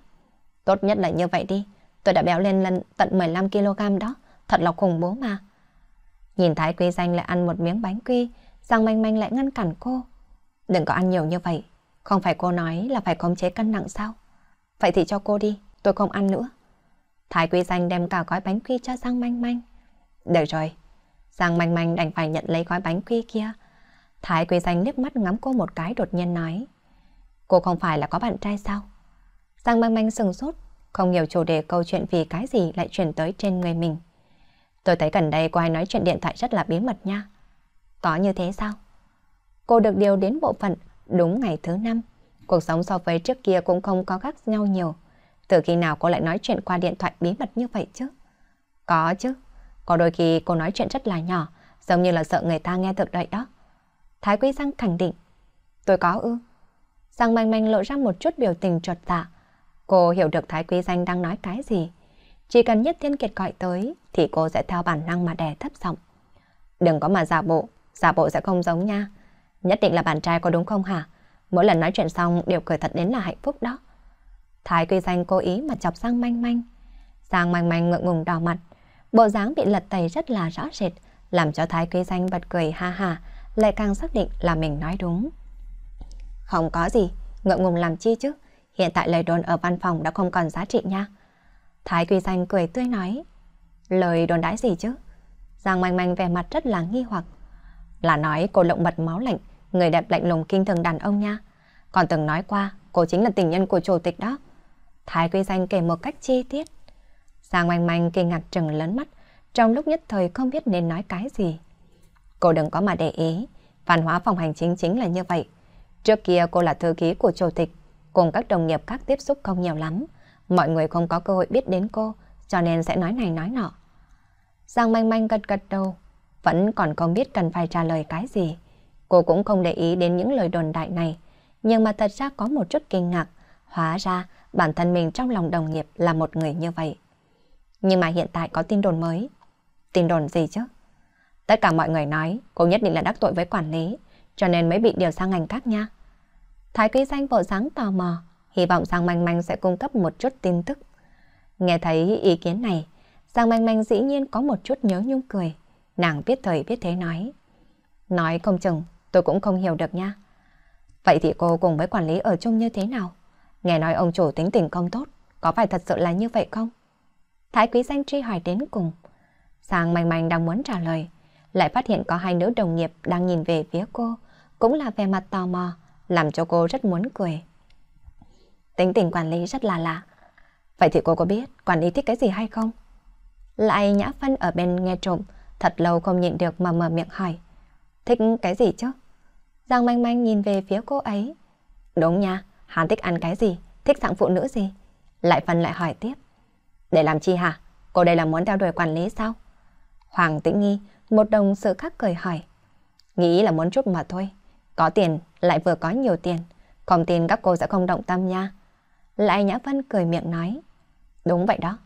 Nếu không phải tôi đã lấy chồng, thì tôi nhất định sẽ thay đổi quản lý đó. Thái Quý Danh cũng cười mà nói tiếp. Nghe Thái Quý Danh nói như vậy, Giang Manh Manh nhịn không được mà cười ra tiếng. Nói thật với cô nha, ai lại không muốn làm chủ tịch phu nhân chứ? Thoái Quý Danh vừa nói vừa cười. Vậy thì nói mau đi, cô có biết quản lý thích dạng phụ nữ gì không? Nghe nói bạn gái trước kia của hắn, sáng người đều cao gầy, không chỉ có khuôn mặt đẹp, sáng người cũng khỏe. Cô đi theo quản lý mấy tháng này, có hay không thấy những người đẹp hẹn hò chứ? Thái Nhã Văn truy hỏi đến cùng. Tôi không biết đâu, thư ký không quản những việc này. Giang Manh Manh nói, về điểm này là cô nói thật. À, thất vọng rồi nha. Lại Nhã phân cất tiếng thở dài. Thất vọng làm gì chứ? Cô xác định cũng nên dũng cảm theo đuổi thôi. Hoàng Tĩnh Nghi cất lời giễu cợt. Nhưng mà quản lý làm sao có thể nhìn đến những người như là chúng ta đây? Lại Nhã Vân lại thở dài. Tôi nghe nói người đẹp đối với anh ta yêu thương nhớ nhung không ít nha. Anh ta gặp gỡ nhiều người đẹp cũng không lâu dài, cho nên có người nói anh ta là lừa gạt đó. Hoàng Tĩnh Nghi cung cấp thêm thông tin. Hình như cái này tôi có nghe qua. Nghe nói, chủ tịch hy vọng hắn cùng với thiên kim tập đoàn lợi phong kết sao đó. Lại Nhã Vân lại gật đầu mà bổ sung vào. Giang manh manh nhịn không được mà vành tai lắng nghe. Dù sao trong giới buôn bán chính là như vậy. Quan hệ thông gia đến, quan hệ thông gia đi. Tôi xem qua ở tạp chí, thiên kim tập đoàn phong lợi chính là tạ chi nghiên, thật sự là rất đẹp nha. Thái quý danh nhún vai nói tin bắt quái. Giang manh manh không tự giác than nhẹ một tiếng, nói không rõ trong lòng rốt cuộc là có cảm giác gì, giống như là có một chút ê ẩm. Cô mận cớ đi vào uống trà, mà rời khỏi chỗ ngồi. Lúc này cô bắt đầu suy nghĩ. Đáp ứng cùng Nhếp Thiên Kiệt kết sao rốt cuộc là tốt hay xấu. Rõ ràng gia cảnh hai người công môn đang hộ đối, vậy mà cô vẫn còn đáp ứng. Không, không hối hận. Giang manh manh nỉ non một tiếng. Như thế nào hiện tại lại suy nghĩ vớ vẩn như vậy? Lòng người quả nhiên là không biết đủ mà. Nói thực, Nhất Thiên Kiệt tuy rằng hơi bá đạo một chút, nhưng đối với cô rất là tận tình cũng rất tốt với cô. Cô thật sự là không có gì để bất mãn cả. Lúc trước có thể đáp ứng hắn kết giao, cũng không phải muốn hy vọng tâm của hắn. Bọn họ hai người có thể đi đến, lúc nào cũng là không biết. Hà tất gì phải lo sợ không đâu chứ.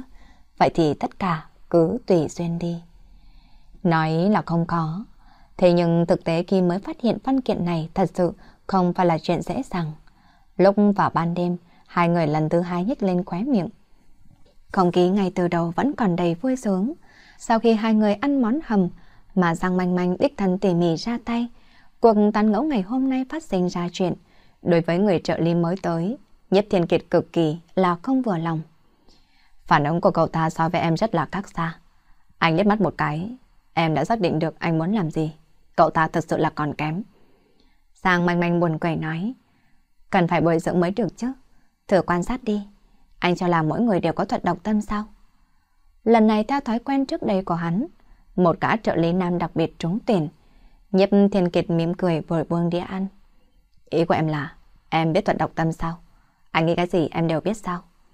Em làm mà sao biết được anh đang suy nghĩ cái gì chứ? Cô cười cất lời. Nhưng mà về sau chung sống lâu dài, đại khái biết anh sẽ muốn đồ vật gì. Dù sao khi đi công tác, anh có yêu cầu duy nhất, chính là tư liệu phải được chuẩn bị tốt. Đưa cho anh chậm một giây thì anh sẽ không vui nha. Cô đứng dậy thu dọn bàn ăn, hắn giữ chặt lấy tay cô, ý bảo cô một lát nữa hãy tủ dọn, rồi đem cô kéo lên ở trên đùi. Em nấu ăn rất là ngon. Đây là lần đầu tiên cô nấu đồ vật này nọ cho hắn ăn, nhưng lại là ở trong nhà của hắn. Ngày nào đó, anh cũng mời em lại một lần, em cũng rất là cao hứng nha. Cô cất lời mà giễu cợt. Cái này thật sự là rất có, bởi vì từ trước tới giờ, anh chưa đụng tay vào bếp. Anh chỉ... Chỉ là trà đến tay chìa ra, cơm đến thì há mồm sao hả? Cô nối tiếp lời hắn. Hắn cười ha hả, đang muốn hôn trộm thì tiếng chuông di động vang lên. Là di động của em. Cô đứng dậy đi đến phòng khách, cầm lấy điện thoại màu bạc ở trên bàn. Alo? Là em, chị Mạnh Mạnh à? Có chuyện gì không? Mấy ngày này chị có thể đồng ý không? Em còn thiếu chị một buổi xem phim. Tao lệnh tề nói. Lời của em nói thật đó à? Nhưng mà cũng không có việc gì cả. Em đã hứa là sẽ không nuốt lời mà. Tao lệnh tề lập tức nói. Ngày mai hoặc ngày kia có được hay không? Vậy thì ngày kia đi. Cái kia bài văn của em chị đã xem chưa? Thật là xin lỗi mấy ngày nay chị hơi bận nha. Giang Mai Mai ngượng ngùng nói, thiếu chút nữa cô đã quên đi chuyện này. Không sao, không xem cũng không sao cả. Như vậy làm sao được chứ? Tác phẩm của cậu lớn như vậy, nhất định chị có dịp sẽ vinh dự đọc qua nha. Giang Manh Manh lập tức nói. Thế nhưng cô lại dừng lại, phát hiện nhiếp thiên kiệt đang đến bên người cô.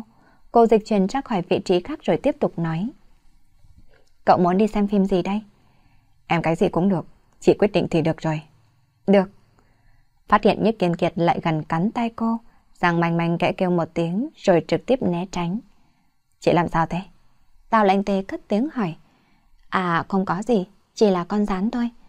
Giang manh manh vừa mới dứt lời, Nhất Thiên Kiệt bỗng nhiên đem cô bổ nhào ở trên ghế sofa, cô tức giận đẩy hắn. Chúng ta nói chuyện sau này đi, chị còn có một chút việc.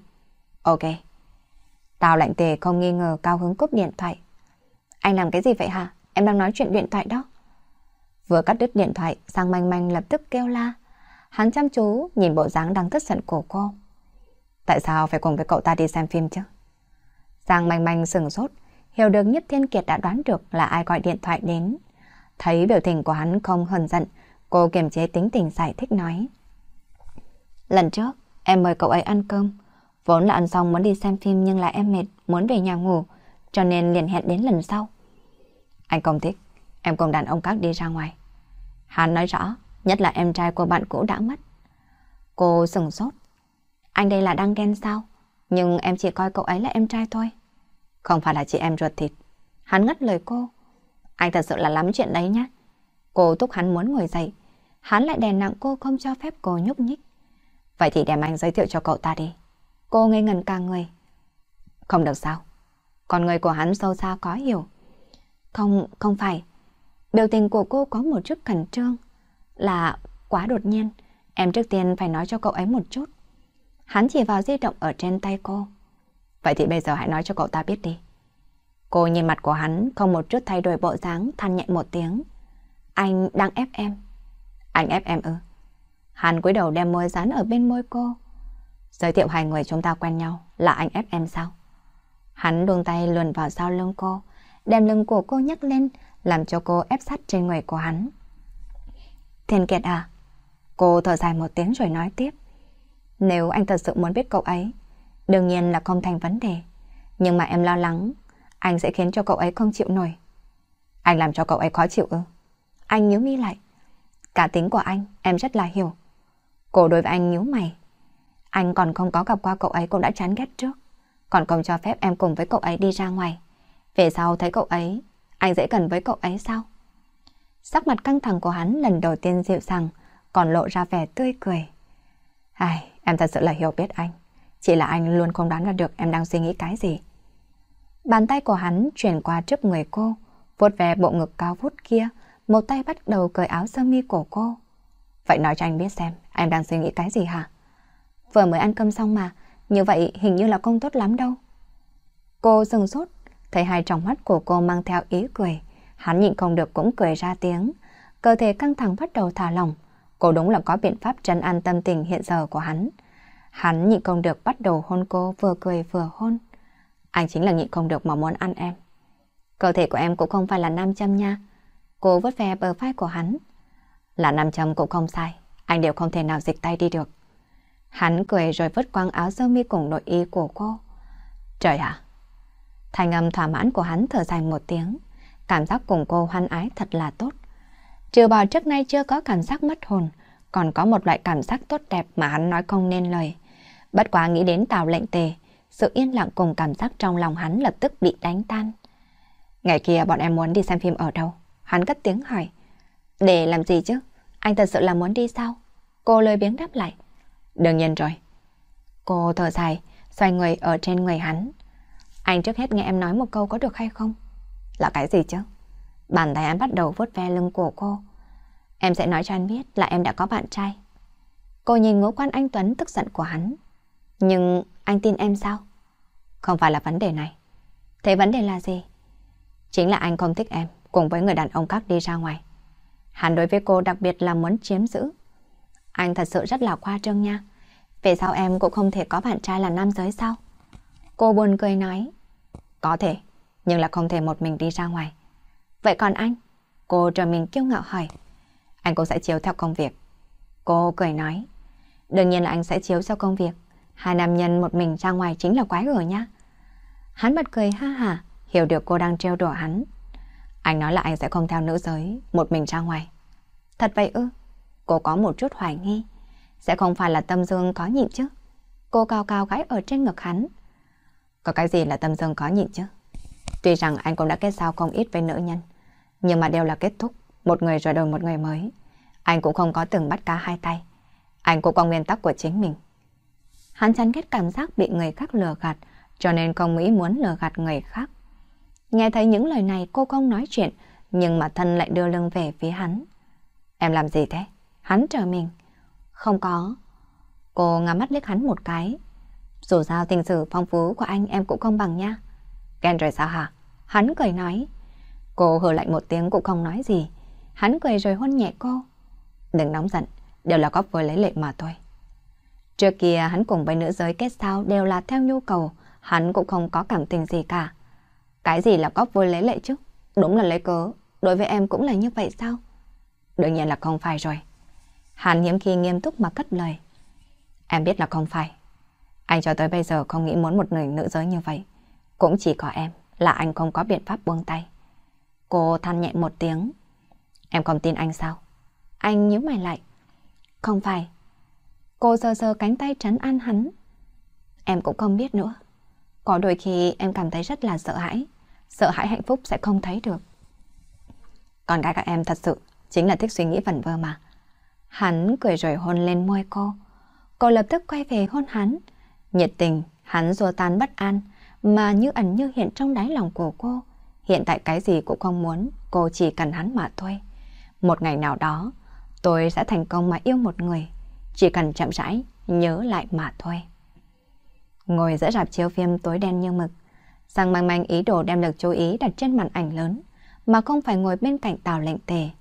Từ sau khi xem tác phẩm cậu ta đặt giải, cô bắt đầu phát hiện ra ánh mắt của cậu ta, nhìn cô chăm chú có một chút bất đồng, luôn luôn lộ ra quan tâm, lộ ra ôn nhu, còn xen lẫn một chút tình cảm. Vì tránh cho không khí quá mức thân mật, cô cố chọn một tác phẩm hành động. Mặc dù cậu ta có một chút kinh ngạc, nhưng mà cũng không có ý kiến gì thêm. Nhìn thấy trên màn ảnh, Diễn viên chém đứt đầu của một tên tiểu lâu la. Cô cao mày xoay đầu đi. Qua vài giây mới đưa tầm mắt quay về trên màn ảnh lớn. Như vậy đi lại đi lại mấy lần. Cô nghe thấy Tào lệnh tề nhỏ giọng mở miệng. Nếu chị không muốn xem thì chúng ta có thể không cần xem. Không sao. Cô nhẹ giọng đáp lại. Cậu ta không nói gì nữa. Ăn bỏng ngô ở trên tay. 5 phút đồng hồ sau, cậu lần thứ hai thì mở miệng. Chị đã xem tác phẩm của em chưa? Cô ở trong lòng thề dài, nên tới là vẫn sẽ tới. Đã xem rồi. Lại là một trận yên tĩnh.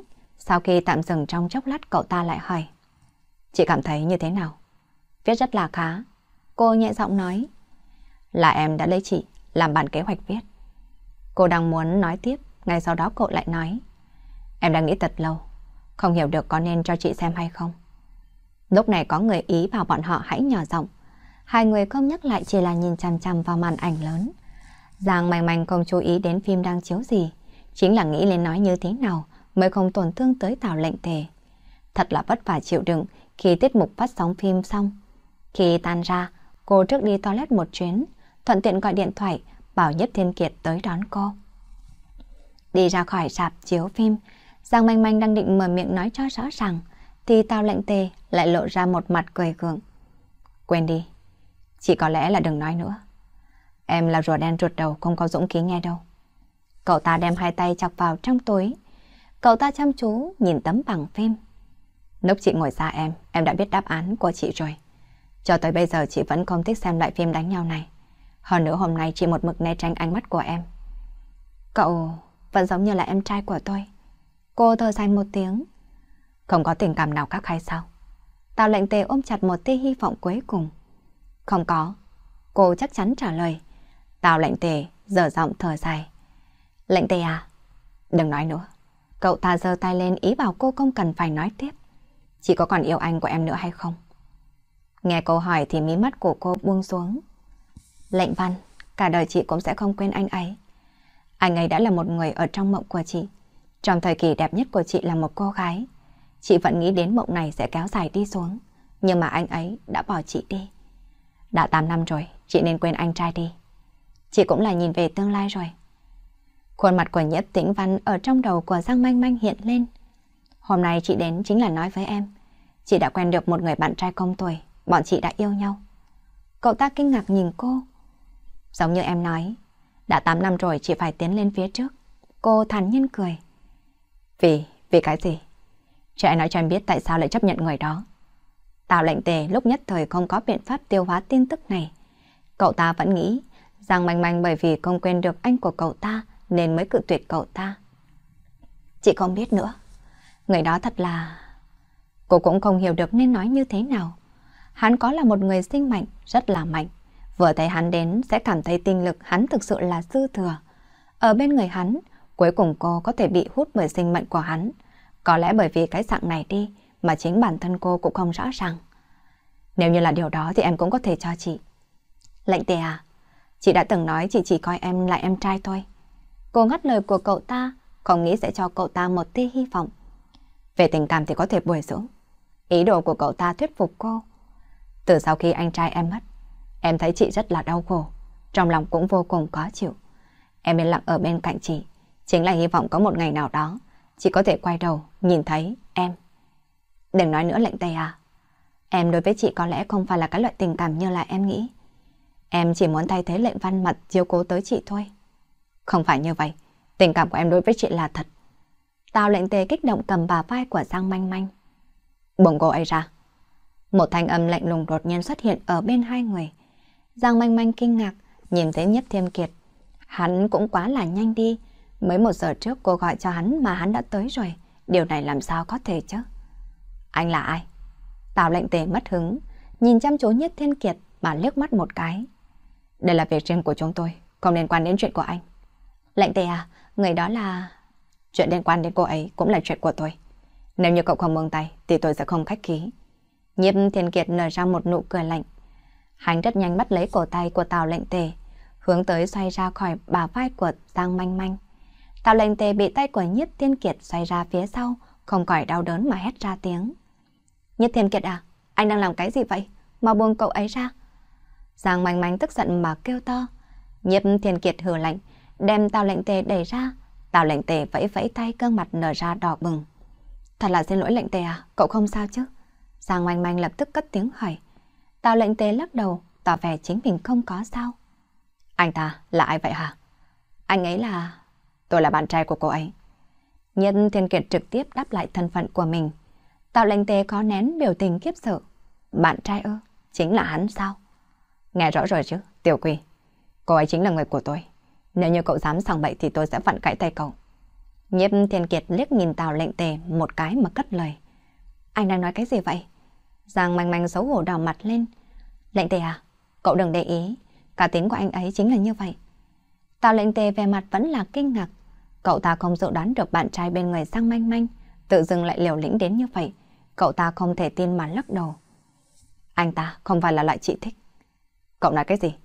Nhâm Thiên Kiệt về mặt khó chịu. Thôi được rồi. Giang manh manh che ở trước mặt Thiên Kiệt, cũng không cho hắn tiếp cận Tào lệnh tề. Anh cũng không thể để cho em một mình cùng với Tào lệnh tề nói chuyện sao hả? Có cái gì là không đồng ý chứ? Tiểu kỳ này chỉ cần thừa nhận một sự thật. Em không thuộc về cậu ta. Cậu ta biết mình hết là được rồi. Anh... Giang manh manh tức giận nắm chặt tay lại. Thầy cô tức giận đến nói không ra lời. Nhất Thiên Kiệt nhân tiện muốn phát sinh đánh nhau với Tào lệnh tề. Đột nhiên, một thân ảnh thon thả xuất hiện ở bên cạnh hắn. Thiên Kiệt à? Nhân Thiên Kiệt vừa chuyển qua, liền phát hiện Tạ Chi Nghiên đang đứng ở trước mắt.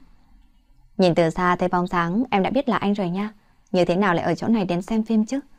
Tạ Chi Nghiên lộ ra tươi cười nói. Nhất Thiên Kiệt cũng không trả lời vấn đề của Tạ Chi Nghiên mà hỏi ngược lại. Cô đi đâu đây? Cùng đến xem phim sao? Đúng vậy, nhưng mà người hẹn còn không đến nha. Cô ta cười nói. Giang manh manh thừa dịp hai người hàn huyên, liền lôi kéo Tào lệnh tề sang một bên, nói với cậu mấy câu. Nhất Thiên Kiệt mất hứng nhíu mày. Cô ấy là ai vậy? À, hình như là có một chút ấn tượng nha. Tạ Chỉ Nghiên cảm thấy gương mặt của Giang Manh Manh có vài phần quen thuộc, nhưng lại không nghĩ ra là đang gặp cô ở đâu. Làm sao thế? Cô ấy là ai? Lại có thể khiến cho anh mất hứng như vậy chứ? Nhếp Thiên Kiệt trả lời một cách qua loa. Tôi không có mất hứng. Tạm thời, anh rõ ràng là mất hứng đó. Tạ Chi Nghiên cười nói. Ngay khi Nhất Thiên Kiệt sắp mất đi tính nhẫn này, thì Giang Manh Manh cuối cùng cũng trở về. Là bạn gái sao? Tạ Chi Nghiên hỏi thường một câu. Đúng vậy. Nhất Thiên Kiệt trả lời một cách ngắn gọn. Giang Manh Manh tiến lại gần, Tạ Chi Nghiên bỗng nhớ tới cô là ai. Cô chính là thư ký của Nhất Ba Ba có đúng không? Tôi đã trông thấy cô nha. Giang Manh Manh không nên biết đáp lại như thế nào, chỉ có thể cật cật đầu. Cô cùng với Tạ Chi Nghiên chỉ có vài lần có duyên, thậm chí còn chưa nói chuyện. Tạ Chi Nghiên nhìn Nhất Thiên Kiệt, rồi lại nhìn Sang Manh Manh, nhịn không được mà cười nói. Hóa ra là như vậy. Giang Manh Manh nhất thời xấu hổ, cũng không biết nên nói cái gì. Vậy thì em đây không quấy rầy các người, xin chào. Tạ Chi Nghiên nói rồi bỏ đi. Chúng ta cũng đi thôi. Nhiếp Thiên Kiệt đối với Giang Manh Manh cất lời. Cô ngay cả nhìn cũng chưa liếc hắn một cái mà tự tránh ra. hàn biết cô tức giận, tức thời không giận cô. Dù sao trước tiên, làm cho cô phát sinh một chút cáu kỉnh, lúc sau trấn an cô là được. Mà trọng yếu là hắn đã đem cái thảo nhân đáng ghét cái tên kiểu quỷ thối kia đuổi đi rồi. Ở trên đường, Giang Măng Manh chỉ nói một câu cô phải về nhà. Nhà của tôi. Rồi liền im bặt. Nhất Thiên Kiệt cũng không làm trái ý cô, mà trực tiếp đưa cô về nhà. Tâm tình quán vẫn rất là khoái trá. Cô lại nói một câu. Anh trở về đi. Hôm nay em nghĩ muốn yên lặng một chút. Cô biết hắn muốn cùng cô lên lầu. Là có ý gì chứ? Hắn bắt lấy tay cô không cho cô xuống xe. Trên mặt em có chữ gì đó sao? Em nghĩ chúng ta cần yên lặng một chút. Lại nữa rồi. Hắn mất hứng mà nhíu mày lại. Lại nghĩ là muốn chúng ta cần thời gian yên tĩnh. Em luôn dùng cách này để lấy cớ để mà phá anh. Cô có một chút bốc hỏa. Em không yêu cầu đòi hỏi anh. Chẳng lẽ em không thể có thời gian riêng của mình sao? Em với anh ở cùng một chỗ, có thể tự hỏi sao hả? Anh vừa trông thấy em, cũng chỉ nghĩ muốn theo em lên giường thôi. Lời nói của cô làm cho hắn căm tức. Em vì chuyện chiều nay mà tức giận sao? Cô không trả lời hắn mà ngược lại hỏi. Thời điểm em gọi điện thoại cho anh, anh ở gần đây sao? Đúng vậy. Hai trong mắt của cô sinh ra tức giận. Anh theo dõi em sao? Hắn liếc mắt cô một cái, lông mày rậm nhăn lại. Em tức giận là vì cái này ư? Anh không theo dõi em. Hôm nay anh theo cũng không vui vẻ lắm, cho nên anh đi trước. Anh ở quán cà phê gần đó chờ em gọi điện thoại. Thật không? Ánh mắt hoài nghi của cô làm cho mặt hắn trở nên lạnh. Anh không thích theo dõi người khác. Nếu anh không muốn em đi đến cuộc hẹn, anh sẽ dùng mọi biện pháp không để cho em đi. Chứ không phải giống như một tên biến thái để theo dõi em. Anh xuất hiện quá nhanh, cho nên em mới nghĩ rằng anh theo dõi em. Cô cất tiếng thở dài. Khi em đang khuyên bảo lệnh tề thì anh đã đến. Nếu không phải anh, thì các người không biết còn muốn dây dưa bao lâu nữa. Hắn nói, em hy vọng có thể từ từ một chút. Cậu ta muốn có tình cảm với em, muốn thay thế lệnh văn. Cô cất tiếng thở dài. Nghe những lời nói này hắn lại càng không cao hứng. Thật là quá cảm động đi. Hắn cầu khí châm chọc làm cho cô giận căng mặt. Anh đây là có ý tứ gì? Hắn nhịn không được mà cũng cất lời. Hai người các em nhỡ mãi không quen đều cùng là một người. Em nghĩ không ra, cho nên khiến người ta bên cạnh cũng không xem ra được sao. Cậu ta không chừng còn cảm thấy được bản thân mình thật là vĩ đại. Thay thế anh trai để chiếu cố em, thật đúng là tình anh em đó. Cô vẫn nộ, muốn tắt hắn một cái nhưng là cô nhịn, thần thù mà đi mở cửa xe. khoản đã. Hắn đem cô kéo trở lại. Cô bị hắn lôi vào trong xe, tay phải theo bản năng gạt ra, lại làm cho mặt hắn bắt lấy cổ tay cô. Anh lại muốn tôi thưởng cho một cái tát nữa sao? Cô không nói chuyện mà trừng mắt nhìn hắn. Em quá quắt lắm rồi. Em nghĩ rằng anh chịu đựng được bao lâu nữa sao hả? Hắn lớn tiếng nói. Anh nhịn cái gì chứ? Cô cắn răng hỏi. Đáng lẽ phải là cô nhịn hắn mới đúng. Anh chịu đựng khi trong lòng em vẫn nhớ mãi một người chết. Rốt cuộc em có đem anh để ở trong lòng em hay không hả? Hắn giận dữ hỏi.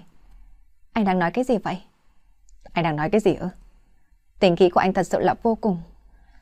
Anh thật sự là coi mình là trung tâm, là vì tư lợi. Cô không chịu nổi mà giống giận. Anh vì tư lợi ư? Hắn rít cả một tiếng.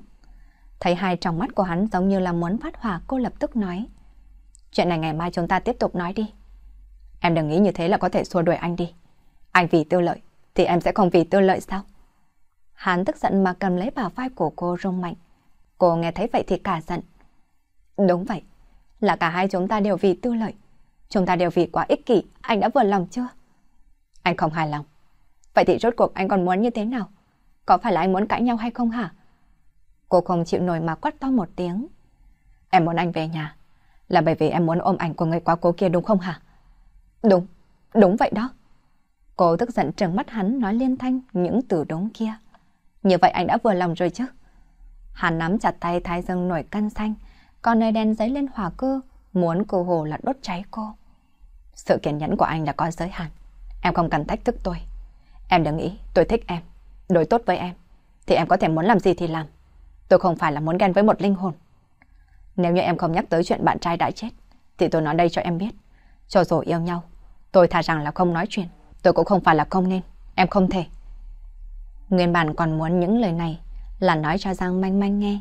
Cả người sừng rốt, rồi sau đó liền cảm thấy một hồi đau lòng cùng với trái tim băng giá. Cô rời tầm mắt đi chỗ khác rồi nhẹ giọng nói một câu. Em hiểu. Cái gì được gọi là em hiểu chứ? Hắn không thích mặt cô không một chút phản ứng như vậy. Em biết, anh cũng không phải là không nên, em không thể. Em tin tưởng có một người đàn bạn khác đang chờ anh ưu ái. Vậy thì mời anh, hãy đi tìm cô ấy đi. Thấy cô bước xuống xe, hắn lại bắt tay cô lại. Hiện tại, anh lại muốn em sao? Anh thật đúng là hành động phản bội lại lời nói mà. Cô không nhìn hắn mà cố ý nói. Hắn cầm tức buông tay ra, cô lập tức mở cửa xe bước xuống. Em hiểu rõ. Cô dùng sức đóng cửa xe lại. Hắn chưa nói xong đã bị cắt ngang. Cô biết hắn đang nhìn cô, cho nên cô thẳng lưng cũng không quay đầu lại mà tiến vào đại lâu. Cô mới xuống xe, hắn nghĩ rằng muốn mở cửa xe đuổi theo, nhưng nghe thấy lời nói của cô ở bên tai hắn lại vang lên. Anh thật đúng là hành đội phản bội lại lời nói, thì hắn tức giận. Cô thật sự là gạt bỏ hắn hay không? Nếu hiện tại đuổi theo, hắn không phải là để lộ ra sự bất lực của mình hay sao? Từ nhỏ đến lớn, trừ bỏ ba hắn, không có một người nào dám làm hắn tức giận, huống chi lại là đàn bà phụ nữ. Hắn nói gì nghe nấy sáng vẻ không giống như cô, lại không dám chống đối hắn, lại còn dám đánh hắn nữa chứ. Xem ra hắn thật sự yêu thương cô. Hắn đập bàn, nói không chừng đến bây giờ, cô vẫn chờ hắn đuổi theo để mà chịu tội. Hắn biết, phụ nữ đều thích chiêu này. Được, hắn thở dài, lần này hắn sẽ cho cô biết, hắn sẽ không nói đùa. Phụ nữ hắn không thiếu, nếu cô nghĩ rằng cô có thể đùa bỡn hắn, thì cô mời là sai. Lần này hắn tuyệt đối không phải là thích cho cô. Ba ngày trôi qua, Nhất Thiên Kiệt phát hiện chính mình càng ngày càng táo bạo. Hắn bỏ qua sổ sách tư liệu, phiền toán đứng dậy, đi qua đi lại. Nữ nhân này tính tình đúng là ngang ngược. Hắn cầm điện thoại, nghĩ muốn bấm điện thoại, nhưng lại lập tức buông điện thoại xuống. Lần này có lẽ hắn không chủ động. Cô cũng muốn tốt, thì hẳn phải làm hành động trước. Cô thật sự nghĩ đến hắn, không có được cô thì không được sao? Có lẽ ngay từ đầu hắn chủ động là đúng, bất quá không có nghĩa là hắn phải cố núm lấy lòng cô. Nữ nhân thiên hạ còn rất nhiều, mà cô cũng không có gì là đặc biệt cả. Hắn cầm lấy điện thoại bấm một dãy số. Alo, là tôi đây. Hôm nay buổi tối 7 giờ được không? Tôi mời cô ăn cơm. Và thật sự là khách quý nha. Có được không? Hắn kiên nhẫn mà hỏi một câu. Nhiếp đại thiếu gia tới như thế nào lại không rảnh chứ? Vậy thì 7 giờ anh tới đón em nha. Được. Hắn treo điện thoại lên rồi tất cả là vặt. Chỉ đơn giản như vậy, hắn ngồi trở lại bàn làm việc bắt đầu xử lý công việc. Tuy rằng tâm tình là vẫn có một chút phiền toái. Bất quá, hắn cố ý đem lại cảm xúc này áp chế lại. Nói không chừng hắn huyền toái như vậy là bởi vì dục vọng không được thỏa mãn. Hắn tin tưởng thỏa mãn thì còn sẽ tốt hơn nhiều. Vừa đến 7 giờ, hắn đến nhà Ái Vân đón cô đi ăn cơm. Ái Vân là bạn gái cũ của hắn cách đây 5 năm. dáng đẹp, khuôn mặt đẹp, cùng cô ở chung một chỗ, không có áp lực gì. Cùng lắm là đi lại với nhau chưa lâu, cô bắt đầu hy vọng hắn sẽ mua quà tặng cô. Hắn nhìn ra được buổi tối ngày hôm nay cô ăn mặc bình thường, trang phục màu đen lộ bả vai trắng như tuyết, mỗi lần nghiêng người sẽ lộ ra một nửa bộ ngực đầy đặn. Tại sao lại nghĩ đến việc rủ em đi chứ? Ái Vân nhìn Nhất Thiên Kiệt mỉm cười, lộ ra quả lê mê người. Không có gì cả, chỉ là đột nhiên nghĩ tới mà thôi. Nhất Thiên Kiệt nhún vai. Thật sao? Mấy ngày này em cũng vẫn nghĩ đến anh nha. Cô ta nghiêng người hướng về phía hắn, móng tay nhẹ nhàng cầm lấy tay hắn. Hắn không có động tác gì, nhìn thấy cô vớt ve hắn, mang theo sự tán tình gợi cảm. Chờ một chút nữa, em muốn đi nơi đó, có được không? Cô ta hơi hơi chu chu đôi môi, hai tròng mắt lộ ra vẻ hấp dẫn.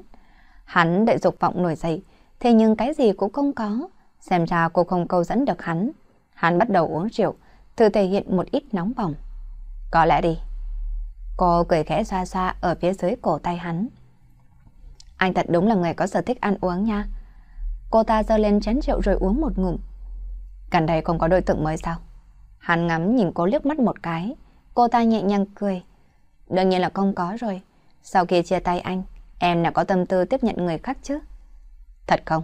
Hắn chớp mi. Tôi nhớ rõ ba tháng trước ở bữa tiệc của ông Ngô, cô đi cùng với bác Thiệu Đông. Cô ta thoáng sừng sốt, nhưng lập tức khôi phục lại tinh thần. Chỉ là... Không cần phải nói dối, tôi sẽ không để ý đến. Hắn không hứng thú nghe cô ta nói một đống thứ lý do để biện hộ cho chính mình. Cô ta mỉm cười nói. Em nghĩ cũng là... Cô cùng tôi đi ra ngoài. Ông ta không để ý sao? Hắn lại hỏi. Cô ta nhún nhún vai. Từ một tuần trước, ông ta nói về sau sẽ không đến tìm em nữa. Cô lừa gạt ông ta chắc chắn cũng được nhiều tiền lắm nhỉ?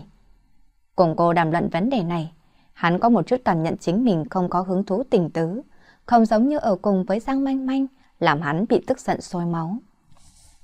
Nghĩ đến Giang Manh Manh, trong lòng hắn không hiểu sao dâng lên một cỗ tội ác, nhưng hắn lập tức đem cảm giác này bỏ qua một bên. Theo cách nói của cô, bọn họ đã muốn chia tay, đương nhiên hắn có thể tìm nữ nhân khác. Đừng nói như vậy mà. Ai văn xấu hổ cất lời. Mặc kệ anh tin hay là không tin, em đã bất phóng túng hơn trước rồi. Cô đối với hắn không có tình cảm gì sao? Nhếp Thiên Kiền hỏi. Làm sao anh lại hỏi em về vấn đề kỳ quái này? Cô ta thoáng sừng sốt. Hắn căng khóe miệng lên. Cô không cần phải trả lời tôi. Biểu tình của cô ta đã có đáp án ngay. Hắn tin rằng cô với hắn ở cùng một chỗ, sẽ không phát sinh tình cảm, tự như hắn với cô là giống nhau. Lúc ấy bọn họ chỉ muốn thỏa mãn nhu cầu, quan hệ với hắn ở cùng với nữ nhân đều đại khái là như vậy. Ngay từ đầu hắn đối xử với Giang Manh Manh cũng là như vậy. Hắn thích cá tính của cô, cho nên muốn được ở bên cô. Thế nhưng bây giờ bọn họ đã cãi nhau ầm ĩ. Nghĩ đến nguyên nhân cãi nhau thì hắn cao chân mày lại. Đến bây giờ, cô có nhớ mối tình trước của mình hay không? Hắn tò mò mà hỏi một câu, cô lại sừng sốt. Hôm nay anh thật sự là tò mò quá đi. Trả lời tôi đi. Hắn nói. Thôi được rồi, chắc là mối tình đầu, khi đó mới học trung học. Cô tới bây giờ vẫn còn thích hắn sao? Không biết có thích hay không? Đôi khi có cảm giác nhớ nhung. Nếu hiện tại hắn ở trước mặt em, người béo bụng vệ, chắc em cũng không còn cảm giác nữa. Cô cầm bánh mì Pháp đưa lên miệng nói. Cho nên nếu một người vẫn nhớ mãi không quên, là mối tình đầu đã chết kia thì sao? Cảm giác kia vẫn cắt sâu ở trong lòng đối phương vì đã chết, đều là những ký ức chất đẹp. Cô ta có một chút đăm chiêu rồi liếc mắt nhìn anh một cái. Nhưng mà tại sao? Có người làm cho anh nhớ đến bối rối hả? Không có. Hắn trực xác phủ nhận, nhưng trong lòng càng ngày càng phiền toái.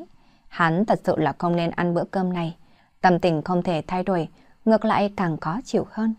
Ái Vân cười khẽ. Em đã cảm thấy lạ khi anh tự nhiên gọi điện thoại cho em. Là cãi nhau đúng không? Cho nên mới đi tìm em hả? Hắn không nói chuyện. Nhưng mà bất quá em cũng không để ý nha. Tay của cô ta lại xa xa tay hắn. Có người đối diện với em, không có gì là hứng thú. Từ trước tới nay đều nhìn về phía trước. Có muốn em ăn ủi anh một chút hay không? Hắn như cố vẫn không nói chuyện. Cô ta lại tiếp tục cười. Tại sao chứ? Lo lắng không cho cô ấy biết. Em sẽ không nói chuyện này ra ngoài. Tôi không lo ngại cô ấy. Hắn đem cảm giác phiền toái mà đổi sang một bên. Vậy thì được lắm. Em rất là nhớ anh nha. Cô ta tiếp tục vuốt ve hắn. Hắn còn muốn nói chuyện lại uống một ngụm rồi cười lạnh một tiếng. Bất quá không sao cả. Bọn họ vốn tìm đến nhau theo nhu cầu. Hắn đi tìm cô để phát tiết dục vọng rồi thôi. Sau khi ăn cơm, Nhếp Thiên Kiệt lái xe đưa Ái Vân quay về nhà cô ta. Đi ở trên đường, tâm tình của hắn không chuyển biến gì tốt đẹp. Trong đầu hắn vẫn hiện lên khuôn mặt của Giang Manh Manh, nhưng hắn cố ý không thèm nghĩ đến nữa. Trong lời nói của Ái Vân nửa đùa nửa thật cũng không để ý. Dù sao hắn cũng không muốn hao tầm tôn tư để nghe cô nói chuyện. Cô chỉ biết lấy lòng quán qua lời nói mà thôi. Tới chỗ có ở của cô ta, cô ta kéo hắn vào nhà, hai tay để ở trên cổ hắn, khiêu dẫn làm cho hắn nghĩ đến thẹn thùng. Giang manh manh cho tới bây giờ cũng không chủ động hôn hắn. Tưởng tượng đến chuyện này thì sắc mặt hắn khó coi không nhìn được. Khi Ái Vân hôn lên miệng hắn, mùi vị son môi cùng nước hoa làm cho hắn khó chịu, rốt cuộc không chịn được mà để cô ta ra. Làm sao vậy? Cô ta sừng sốt. Không có gì cả. Hắn nào não cuối người phủ lên môi của cô ta. Cô ta nhiệt tình đáp lại hắn. Cô ta chủ động đem đầu lưỡi tiến vào trong miệng hắn. Hắn lại buông cô ta ra. Thật là đáng chết. Hắn không thích hương vị của cô ta. Anh làm sao vậy? Cô thấy hắn không được tự nhiên, lấy ra một điếu thuốc châm lên. Thật là xin lỗi. Hôm nay tôi không có tâm trạng. Hắn nói nhanh nhẩu lông mày cũng cao lại. Là cảm thấy có lỗi với cô ấy sao? Cô ta mỉm cười. Trong lòng hắn càng phiền, bất quá hắn cũng không muốn nhiều lời. Cô đến tiệm đa quý, thích cái gì tôi sẽ mua cho cô cái đó. Nói xong hắn liền mở cửa đi ra ngoài. Vừa đến bên ngoài thì hắn tức giận đấm vào tường. Vì một người phụ nữ mà hắn như thế, khiến mình có vấn đề thần kinh chẳng hiểu ra sao cả. Nhưng cảm giác cũng không đúng. Hắn không cần ái văn, mà hắn cần răng Manh Manh. Nghĩ đến thật là tức giận, hắn muốn đập tung đồ vật, trở lại trong xe. Hắn cảm giác cơ thể đang lên men cơn giận. Thì đúng lúc này di động vang lên, vừa nhìn thấy điện thoại thì tình hình lại càng tệ hơn. Có chuyện gì? Hắn tức giận nói với cha một câu. Ta còn muốn hỏi con là có chuyện gì đó. Nhiễm quan hồng cũng lớn giọng nói thêm. Làm sao con lại đem manh manh đến ngành các chứ? Hắn nghe thấy vậy thì nhảy dựng lên. Là cô ấy nói cho cha biết sao? Không phải là nó. Tại sao ta biết con không cần xen vào? Ta không phải đã từng nói là cho con để ý tới nó sao hả? Con... Ta nói cho con biết, con lập tức đem nó về ngay. Mệnh lệnh của cha làm cho hắn tức giận. Hắn suy nghĩ. Bỗng nhiên hắn nghĩ có thể làm cho Giang Manh Manh trở về bên cạnh hắn. Hơn nữa, hắn có thể giữ được sự kiêu ngạo của mình. Bởi vì lần này là do cha hắn yêu cầu, cũng không phải là hắn. Tưởng tượng đến đây, thì tâm tình của hắn bỗng nhiên trở nên khoái trá. Được rồi, con sẽ suy nghĩ. Vì không để cho cha vừa lòng đẹp ý, hắn cố ý dây dưa. Con lại còn suy nghĩ cái gì nữa hả? Nhiếp quan hồng nổi giận nói. Nó là thư ký tốt, hơn nữa tính tình cũng ngoan. Cái tên tiểu tử thối người, lại đem nó sang ngành khác, khó trách nó lại mất hứng. Hắn nghi hoặc mà cất tiếng hỏi. Cô ấy mất hứng ư? Rõ ràng điều đến ngành khác là chủ yếu của cô. Nó mất hứng, thì cũng phải báo cáo cho con hả? Nhiếp quan hồng hừ lạnh một tiếng. Nếu như nó không mất hứng thì việc gì phải từ chức chứ? Chả nói cái gì? Cô ấy từ chức ư? Là ai nói? Tại sao con lại không biết? Hắn quát to một tiếng. Còn không biết ư? Đứa con kích động làm cho nhiếp quan hồng dựng đứng lông mi. Cô ấy từ chức là khi nào? Nhiếp thiên kiệt cất lời truy vấn. Công ty là con quản lý. Làm sao con lại hỏi ta? Nhiếp quan hồng hừ lạnh một tiếng. Cha không nói cho con biết, con sẽ gọi điện thoại cho chu quản lý. Nhiếp Thiên Kiệt quyết định chấm dứt trò chuyện. Ta đã hỏi chú quản lý trước rồi, nó đã từ chức từ ba ngày trước. Nghe thấy vậy thì hắn kinh hoàng. Con sẽ gọi cho cô ấy, hỏi cô ấy tại sao lại làm như vậy. Ta đã gọi rồi, nhưng nhà nó không có ai nghe máy cả, di động cũng đã tắt máy. Nhiếp quan hồng lạnh lùng bương ra một câu. Vậy thì con sẽ đi tìm cô ấy. Nhiếp thiên kiệt giọng bắt đầu siết lại. Người phụ nữ này là muốn từ chức sao? Vậy thì con có biết chỗ ở của nó hay không hả? Nhiếp quan hồng cất lời hỏi hắn. Con biết. Nhất thiên kiệt nói xong lại tắt điện thoại, đi như bay ở trên xa lộ. Đáng chết. Hắn vô cùng tức giận. Cô chưa nói với hắn một tiếng đã muốn từ chức rồi sao? Cô còn muốn chạy sao? Sẽ không dễ dàng như vậy đâu. Hắn lắc đầu. Cô muốn rời xa hắn, hắn sẽ không để cho cô làm như thế. Đã lâu không có thời gian ngồi trên bụi cỏ nhìn bầu trời. Giang manh manh dựa vào thân cây, ngó nhìn trên bầu trời. Quê cô ở giữa sườn núi, tuy rằng có đi lại, nhưng so với thành thị còn tốt hơn nhiều. Đài Bắc, cô không thể xem được những cảnh vật như thế này. Cái cảnh vật ở nơi này giống như là bạn bè của cô, mỗi ngày đều làm bạn với cô. Về nhà được mấy ngày, cô cảm giác bố mẹ có một chút lo lắng cho cô. Tuy rằng cô cam đoan không có việc gì cả, nhưng bọn họ không tin tưởng cô cho lắm. May mắn là hôm trở về nhà, bố mẹ đến dưới chân núi uống rượu mừng bà con xa thân thích. Vãn một chút mới có thể trở về, làm cho cô tạm thời tránh đi bộ dạng lo lắng của bọn họ. Tuy rằng bây giờ đau lòng, nhưng cô tin tưởng quá khứ trôi theo thời gian, cô sẽ quen được hắn. Năm đó Tào lệnh phân mất, cô cũng thống cổ, nhưng dần dần xóa vết đau mờ theo thời gian. Hiện giờ, cô có thể thản nhiên đối mặt nhớ lại hắn mà không hề đau lòng. Nhìn lên bầu trời đầy sao, tâm tình của cô tĩnh mịch, gió nhẹ thổi tới, cô thoải mái và nhắm mắt lại. Mới trước đây cô định học xong sẽ về quên cũ cắm sao và ngủ. Mùa hè ở chỗ này sáng như trăng rằm, thật là một đại hưởng thụ. Bỗng nhiên trong đầu cô, hiện lên cảnh cô cùng với Nhất Thiên Kiệt trần trụi nằm ở trên bong tàu ngắm sao. Cô vội vàng lắc đầu muốn quên hết, tự nhắc bản thân không cần phải nhớ đến hắn. Lúc này cô nhìn thấy có người đi đến nơi này. Cô nghi hoặc đứng lên, cha mẹ đi uống rượu mừng, ai lại đến muộn như vậy chứ? Cô đi đến đường nhựa quan sát, thì nhìn thấy một chiếc xe quen thuộc. Trong lúc nhất thời, giống như cả người đông cứng không thể nào động đậy được. Mãi đến khi đỗ xe trước mặt cô, tài lái xe quen thuộc vẫn nội dương mi mắt, cô mới bắt đầu có động tác. Theo trực giác cô bắt đầu chạy, rồi sau đó suy nghĩ lại, cô cũng không biết tại sao mình lại chạy. Sau đó, lại đoán rằng tâm lý hoảng loạn, dù sao cô không dự đoán được hắn sẽ xuất hiện ở trước mặt cô. Vừa thấy Giang manh manh bỏ chạy, thì cơn tức nghẹn cả đêm, Nhâm Thiên Kiệt lập tức mở cửa đuổi theo. Em đứng lại cho tôi. Hắn rít còng một tiếng.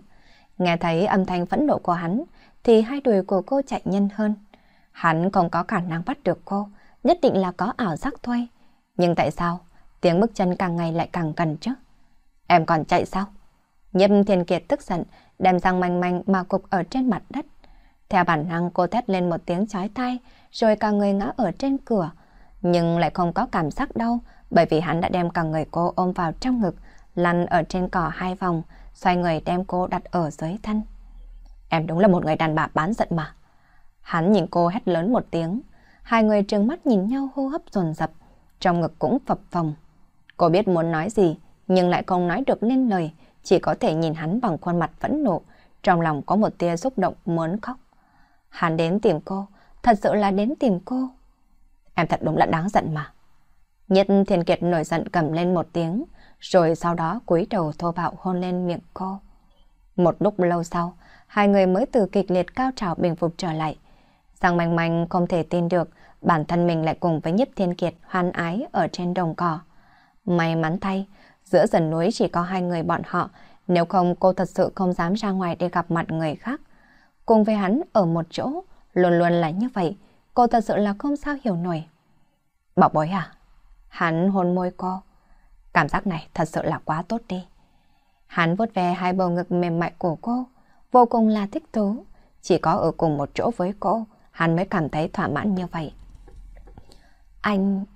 tại sao lại đến đây? Cô không biết là nên hỏi từ đâu, cho nên lời nói có phần đứt quãng. Nhắc tới chuyện này thì hắn lại nổi giận. Tại sao em lại từ chức? Hắn trừng mắt nhìn cô. Tại sao em lại làm như vậy hả? Anh có cần phải nói to như vậy không hả? Cô vuốt ve ngực của hắn. Không rõ tại sao lúc hoan ái hắn luôn dịu dàng, còn lúc bình thường hắn lại bá đạo mà không ai coi ra gì. Em thật sự là muốn chọc giận anh. Hắn hạ giọng nói. Là anh làm cho em tức giận. Là anh nói em chán ghét em. Muốn đi tìm một người đẹp khác, em chỉ còn cách nói cách tạm biệt anh thôi. Nhắc tới chuyện này thì tâm tình của cô bắt đầu xấu. Anh đứng lên đi, em không muốn nói chuyện với anh nữa. Em đừng có mập mơ. Hàn vẫn đang đèn nặng cô. Anh nói chán ghét em khi nào chứ? Là do em chọc giận anh trước, anh mới tức giận nói. Hơn nữa anh nói không phải là câu này. Anh nói anh cũng không phải là nên em cũng không thể. Những lời này còn chưa đủ sáng tỏ sao hả? Bảo tránh ra. Cô đầy hắn, nghĩ đến lời nói lúc mình tức giận, hắn bắt đầu lúng túng. Đó, đó là bởi vì em đã chọc giận anh trước. Em chọc giận tới anh ư? Lời anh nói đúng thật là... Thôi được rồi, anh không cần ẩn ý với em. Hắn hôn miệng cô, cô tức giận đấm hắn, nhưng không kháng cự được nụ hôn của hắn. Thấy cô dao động hắn mới mở miệng nói. Ngày đó là do anh không đúng, là do anh sai. Cô kinh ngạc nhìn hắn, không nghĩ tới hắn lại nói như vậy. Trên đường tới đây chả đã mang anh thậm tệ. Dù sao chuyện này là do anh không đúng trước. Ở trên đường tới chỗ này, Nhếp Khoan Hồng có mắng, nhưng Nhếp Thiên Kiệt treo điện thoại nên cũng như là không. Chủ tịch mắng anh ư? Tại sao chứ? Cô thoáng kinh ngạc. Quan hệ này có liên quan gì tới ông ấy đây? Ông ấy chính là một con cáo già. Chính ông ấy đã nói cho anh biết là em đã từ chức. Hắn tức giận mà nói một câu. Nàng rất là nghi hoặc. Làm sao ông ấy có thể biết được? Đương nhiên là trong công ty có người tâm phúc rồi. Hắn xoay người đem cô mà ôm vào lòng. Thế nhưng ông ấy không chịu nói cho anh biết đó là ai. Vậy thì tại sao lại báo cáo chuyện của em cho chủ tịch biết chứ? Tuy rằng cô biết chủ tịch có thích cô, nhưng nông nổi như thế này có phải là rất thái quá hay không? Em có biết vì sao em lại làm thư ký cho anh không hả? Hắn vớt ve bóng lưng của cô, một mặt đem lưng của cô đè trên đống cỏ dại. Em nghĩ ông ấy làm như thế là vì khó khăn anh sao? Vô tử bọn họ giống nhau chính là quyết đoán. Lúc ấy Nhất Thiên Kiệt không nghĩ cô là thư ký của hắn. Chủ tịch liền đưa cô ở lại bên người hắn. Cô cũng không nghĩ nhiều lắm. Đơn thuần hai người bọn họ muốn tranh hơn thua. Dù sao Nhất Thiên Kiệt không cần, thì chủ tịch lại càng muốn thế. Hai người bọn họ giống như là đứa trẻ, lớn nhỏ đều là hiếu thắng cả. Ông ấy không phải vì anh khó khăn, ít nhất cũng không phải là mục đích này. Lúc ấy hắn nghĩ rằng cha muốn chọc giận hắn. Ông ấy làm như vậy chủ yếu là muốn gắt ghép cho chúng ta. Nghe anh nói thì cầm cổ cô thiếu chút nữa rơi xuống. Như, như thế nào lại có thể? Tại sao lại không thể chứ? Chủ tịch không phải là thích Tạ chi nghiên sao? Nghĩ muốn gắt ghép anh, hai người với nhau sao hả? Hắn nghe thấy vậy thì trợn mi nhìn cô. Là ai nói chứ? Cô nhất thời trở nên trột dạ. Đó là chuyện của mấy năm trước. Anh cùng với Chi Nghiên là bạn bè. Anh với cô ấy không có tình cảm, là cô ấy có thai với người khác. Thật không? Cô vẫn có một lòng hoài nghi. Hắn quan sát đến biểu tình của cô mà cất tiếng hỏi. Em để ý sao? Ai thèm để ý chứ? Cô trực giác trả lời, hắn lại nở nụ cười. Em đây là đang ghen sao? Đúng là chành chọe. Cô xấu hổ đỏ mặt phủ nhận. Nếu sớm biết em để ý đến anh như vậy, thì anh đã không ăn sấm chua. sấm chua cái gì chứ? Thì chính là tạo hình đệ đó. Hắn nói. Cô nghe thấy vậy thì trầm mặc. Chúng ta cãi nhau không phải là bởi vì bọn họ sao? Hãy nghe anh nói đây. Lần trước cãi nhau, anh phải gánh vác trách nhiệm. Nếu biết em để ý đến anh thì anh sẽ không tức giận. Anh nói anh không cần chúng ta bị vướng bận bởi một linh hồn. Nhưng anh cho em thời gian, không nên bức em. Cô nháy mắt hai cái. Có một chút không thể tin được hắn lại nói như vậy. Dường như là nhìn thấu lòng của cô hắn cười nói. Là cha đã mắng anh. Ông ấy nói anh là một tên vô lại. Em với người kia là thanh mai trúc mã từ nhỏ lớn lên. Tình cảm nhiều năm. Em vất vả 8 năm mới có dần dần quen được hắn. Anh với em quen nhau chỉ mấy tuần. Đã muốn em hoàn toàn quen hắn. Công nhận anh hơi ích kỷ một chút. Nghe thấy lời hắn có phần dịu dàng, thì hốc mắt của cô bắt đầu phím hồng. Nếu anh là cậu ấy, anh sẽ thật cao hứng khi giữ em ở bên cạnh. Hắn dịu dàng hôn cô. Có lẽ bởi vì em là một loại cố chấp, nên anh mới tiêu hao suy nghĩ mà đoán được tâm tư của em. Nhưng con người vốn là luôn ích kỷ. Khi anh với em ở bên cạnh, anh mong ở trong lòng em chỉ có một mình anh. Em biết. Cô cất tiếng thở dài. Mỗi khi em trai của cậu ấy xuất hiện, em sẽ không muốn gặp anh, muốn yên tĩnh một chút. Nếu trong lòng em lại khổ sở vì cậu ấy, anh sẽ không nhịn được mà lại cảm thấy tức giận. Cô dừng sút, lúc này mới hiểu được nguyên nhân vì sao hắn tức giận. Hắn nghĩ cô muốn yên tĩnh là để từng nhớ Tào Lệnh Văn sao? Đây chính là nguyên nhân hắn không thích cô xuất hiện cùng với Tào Lệnh Tề. Hắn cho rằng khi gặp Tào Lệnh Tề thì cô sẽ nghĩ đến Tào Lệnh Văn mà không nghĩ đến hắn nữa. Anh biết Lão không nên ghen tị với người đã mất, nhưng anh không thể khống chế được chính mình. Hắn đem cô đặt ở dưới thân rồi nói tiếp. Anh chỉ muốn em nghĩ về anh một chút thôi. Ngữ khí của hắn độc tài làm cho cô mỉm cười. Cô khẽ vuốt ve mặt hắn. Em luôn nghĩ đến anh mà. Em thật sự ở trong lòng có anh. Đôi khi em muốn yên tĩnh một chút là bởi vì trong lòng có phiền muộn cũng không phải là bởi vì Tào Lệnh Văn. Ngày đó, buổi tối em giận anh cho nên không muốn nói chuyện với anh. Em giận anh cái gì? Hắn nhíu mày mà cất tiếng hỏi. Là vì anh đối với Tào Lệnh Tề, không cách ký em không thích như vậy. Bàn tay của cô đặt ở trên môi hắn, ngăn cản hắn mở miệng. Anh hãy nghe em nói hết đã. Em giận anh là bởi vì thái độ của anh. Em có thể giải quyết được chuyện của em với cậu ấy. Cũng không muốn anh nhúng tay vào. Chẳng lẽ chỉ cần có người thích em thì anh muốn đánh người đó sao? Hắn suy nghĩ thừa nhận là hắn chỉ muốn đánh người. Từ vẻ mặt của hắn cô biết mình đã đoán đúng. Cô mất hứng mà liếc hắn một cái. Anh không tin tưởng em ư? Không phải. Anh chỉ là con thích người khác có ý đồ với em. Anh đúng thật là độc tài mà. Cô muốn ngồi nhưng hắn lại không cho cô động đậy. Anh sẽ đáp ứng nếu như em bớt phóng túng. Hắn xoa xoa ngực cổ cô. Anh còn muốn chiếm giữ lấy dục phòng. Đối với người khác, anh không hứng thú như vậy nữa. Tuy lời nói của hắn làm cho cô có một chút tức giận, nhưng rồi lại có một tia vui mừng. Cho tới nay cô lo lắng không biết hắn đối với cô có phải là thật lòng hay không, hay chỉ là chơi đùa, có một chút tình cảm với cô hay không. Hiện giờ nghe thấy lời hắn nói, ở trong lòng cô có một chút kiên định. Cảm giác dục vọng của hắn xuất hiện, cô vội vàng nói. Đừng ở chỗ này, bố mẹ em sắp trở về rồi. Khi nào nghe thấy tiếng xe cộ thì tính đi. Thiên Kiệt à, chờ một chút đi mà. Hai người mồ hôi đầm đìa, hô hấp sồn sập tim đập như sấm. Trong đầu hắn luôn vang vọng tiếng nói yêu thương của cô. Cô yêu thương hắn. Làm sao hắn có thể ngu đến như vậy mà không nhận thấy được tình yêu của cô dành cho hắn chứ? Hắn cảm thấy mỹ mãn xoay người lại ôm cô cùng cô hưởng thụ những ngày tháng tốt đẹp. Trong không khí tràn ngập hơi thở hoan ái của hai người, hắn mỉm cười vuốt ve lưng trần của cô, cảm giác này thật là thích. Hắn không cần người đàn bà khác, mà chỉ cần một mình cô. Cô vô lực nằm dựa ở trên người hắn tìm một vị trí thoải mái. Về sau em không chạy trốn như vậy nữa. Hắn vỗ về vớt mái tóc dày mồ hôi của cô.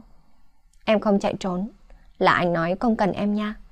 Cô thoải mái mà đánh ngáp một cái. Anh nói không cần em bao giờ chứ. Em cứ suy nghĩ linh tinh thôi. Hắn mất hứng mà nhìn cô. Em mà suy nghĩ linh tinh sao? Thật sự là anh còn nói như thế đó. Nghĩ tới câu nói ấy thì trong lòng cô lại không thoải mái. Đó là do lúc đó anh nhất thời tức giận. Cô than nhẹ một tiếng. Em không biết, không chừng lời đó là từ đáy lòng của anh. Đàn ông các anh đều là như vậy mà. Hắn áp sát khuôn mặt của cô vào cỏ dại. Không được cho phép làm ồn. Thấy trên mặt hắn kính cỏ dại cô nhịn không được mà bật cười thành tiếng.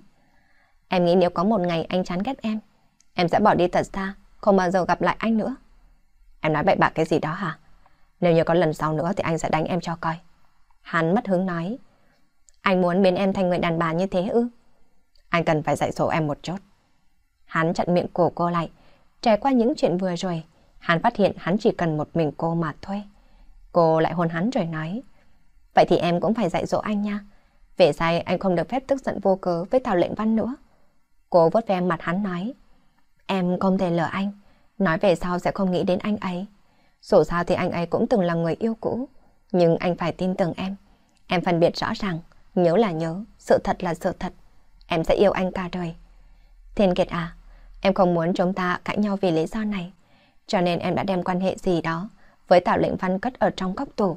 Nếu như anh chiếm lấy một chút ở trong ngõ ngách lòng em, thì em sẽ giao cả trái tim này cho anh, có được không? Cô miên man hôn hắn, mà tâm tình của hắn tràn đầy niềm vui sướng cùng với cảm động. Mạnh mạnh à? Anh còn tức giận sao? Cô dịu dàng hỏi. Hắn lắc đầu rồi trả lời. Anh không thích em lúc nào cũng nghĩ tới cậu ta.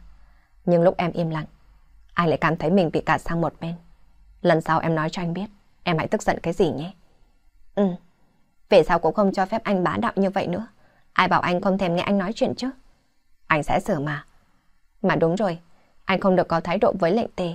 Em đối với lệnh tề như là em trai thôi, anh hiểu chưa hả? Nhưng mà cậu ta thích em. Nhắc đến Tào lệnh tề thì nhiếp thiên kiệt lại cao hứng.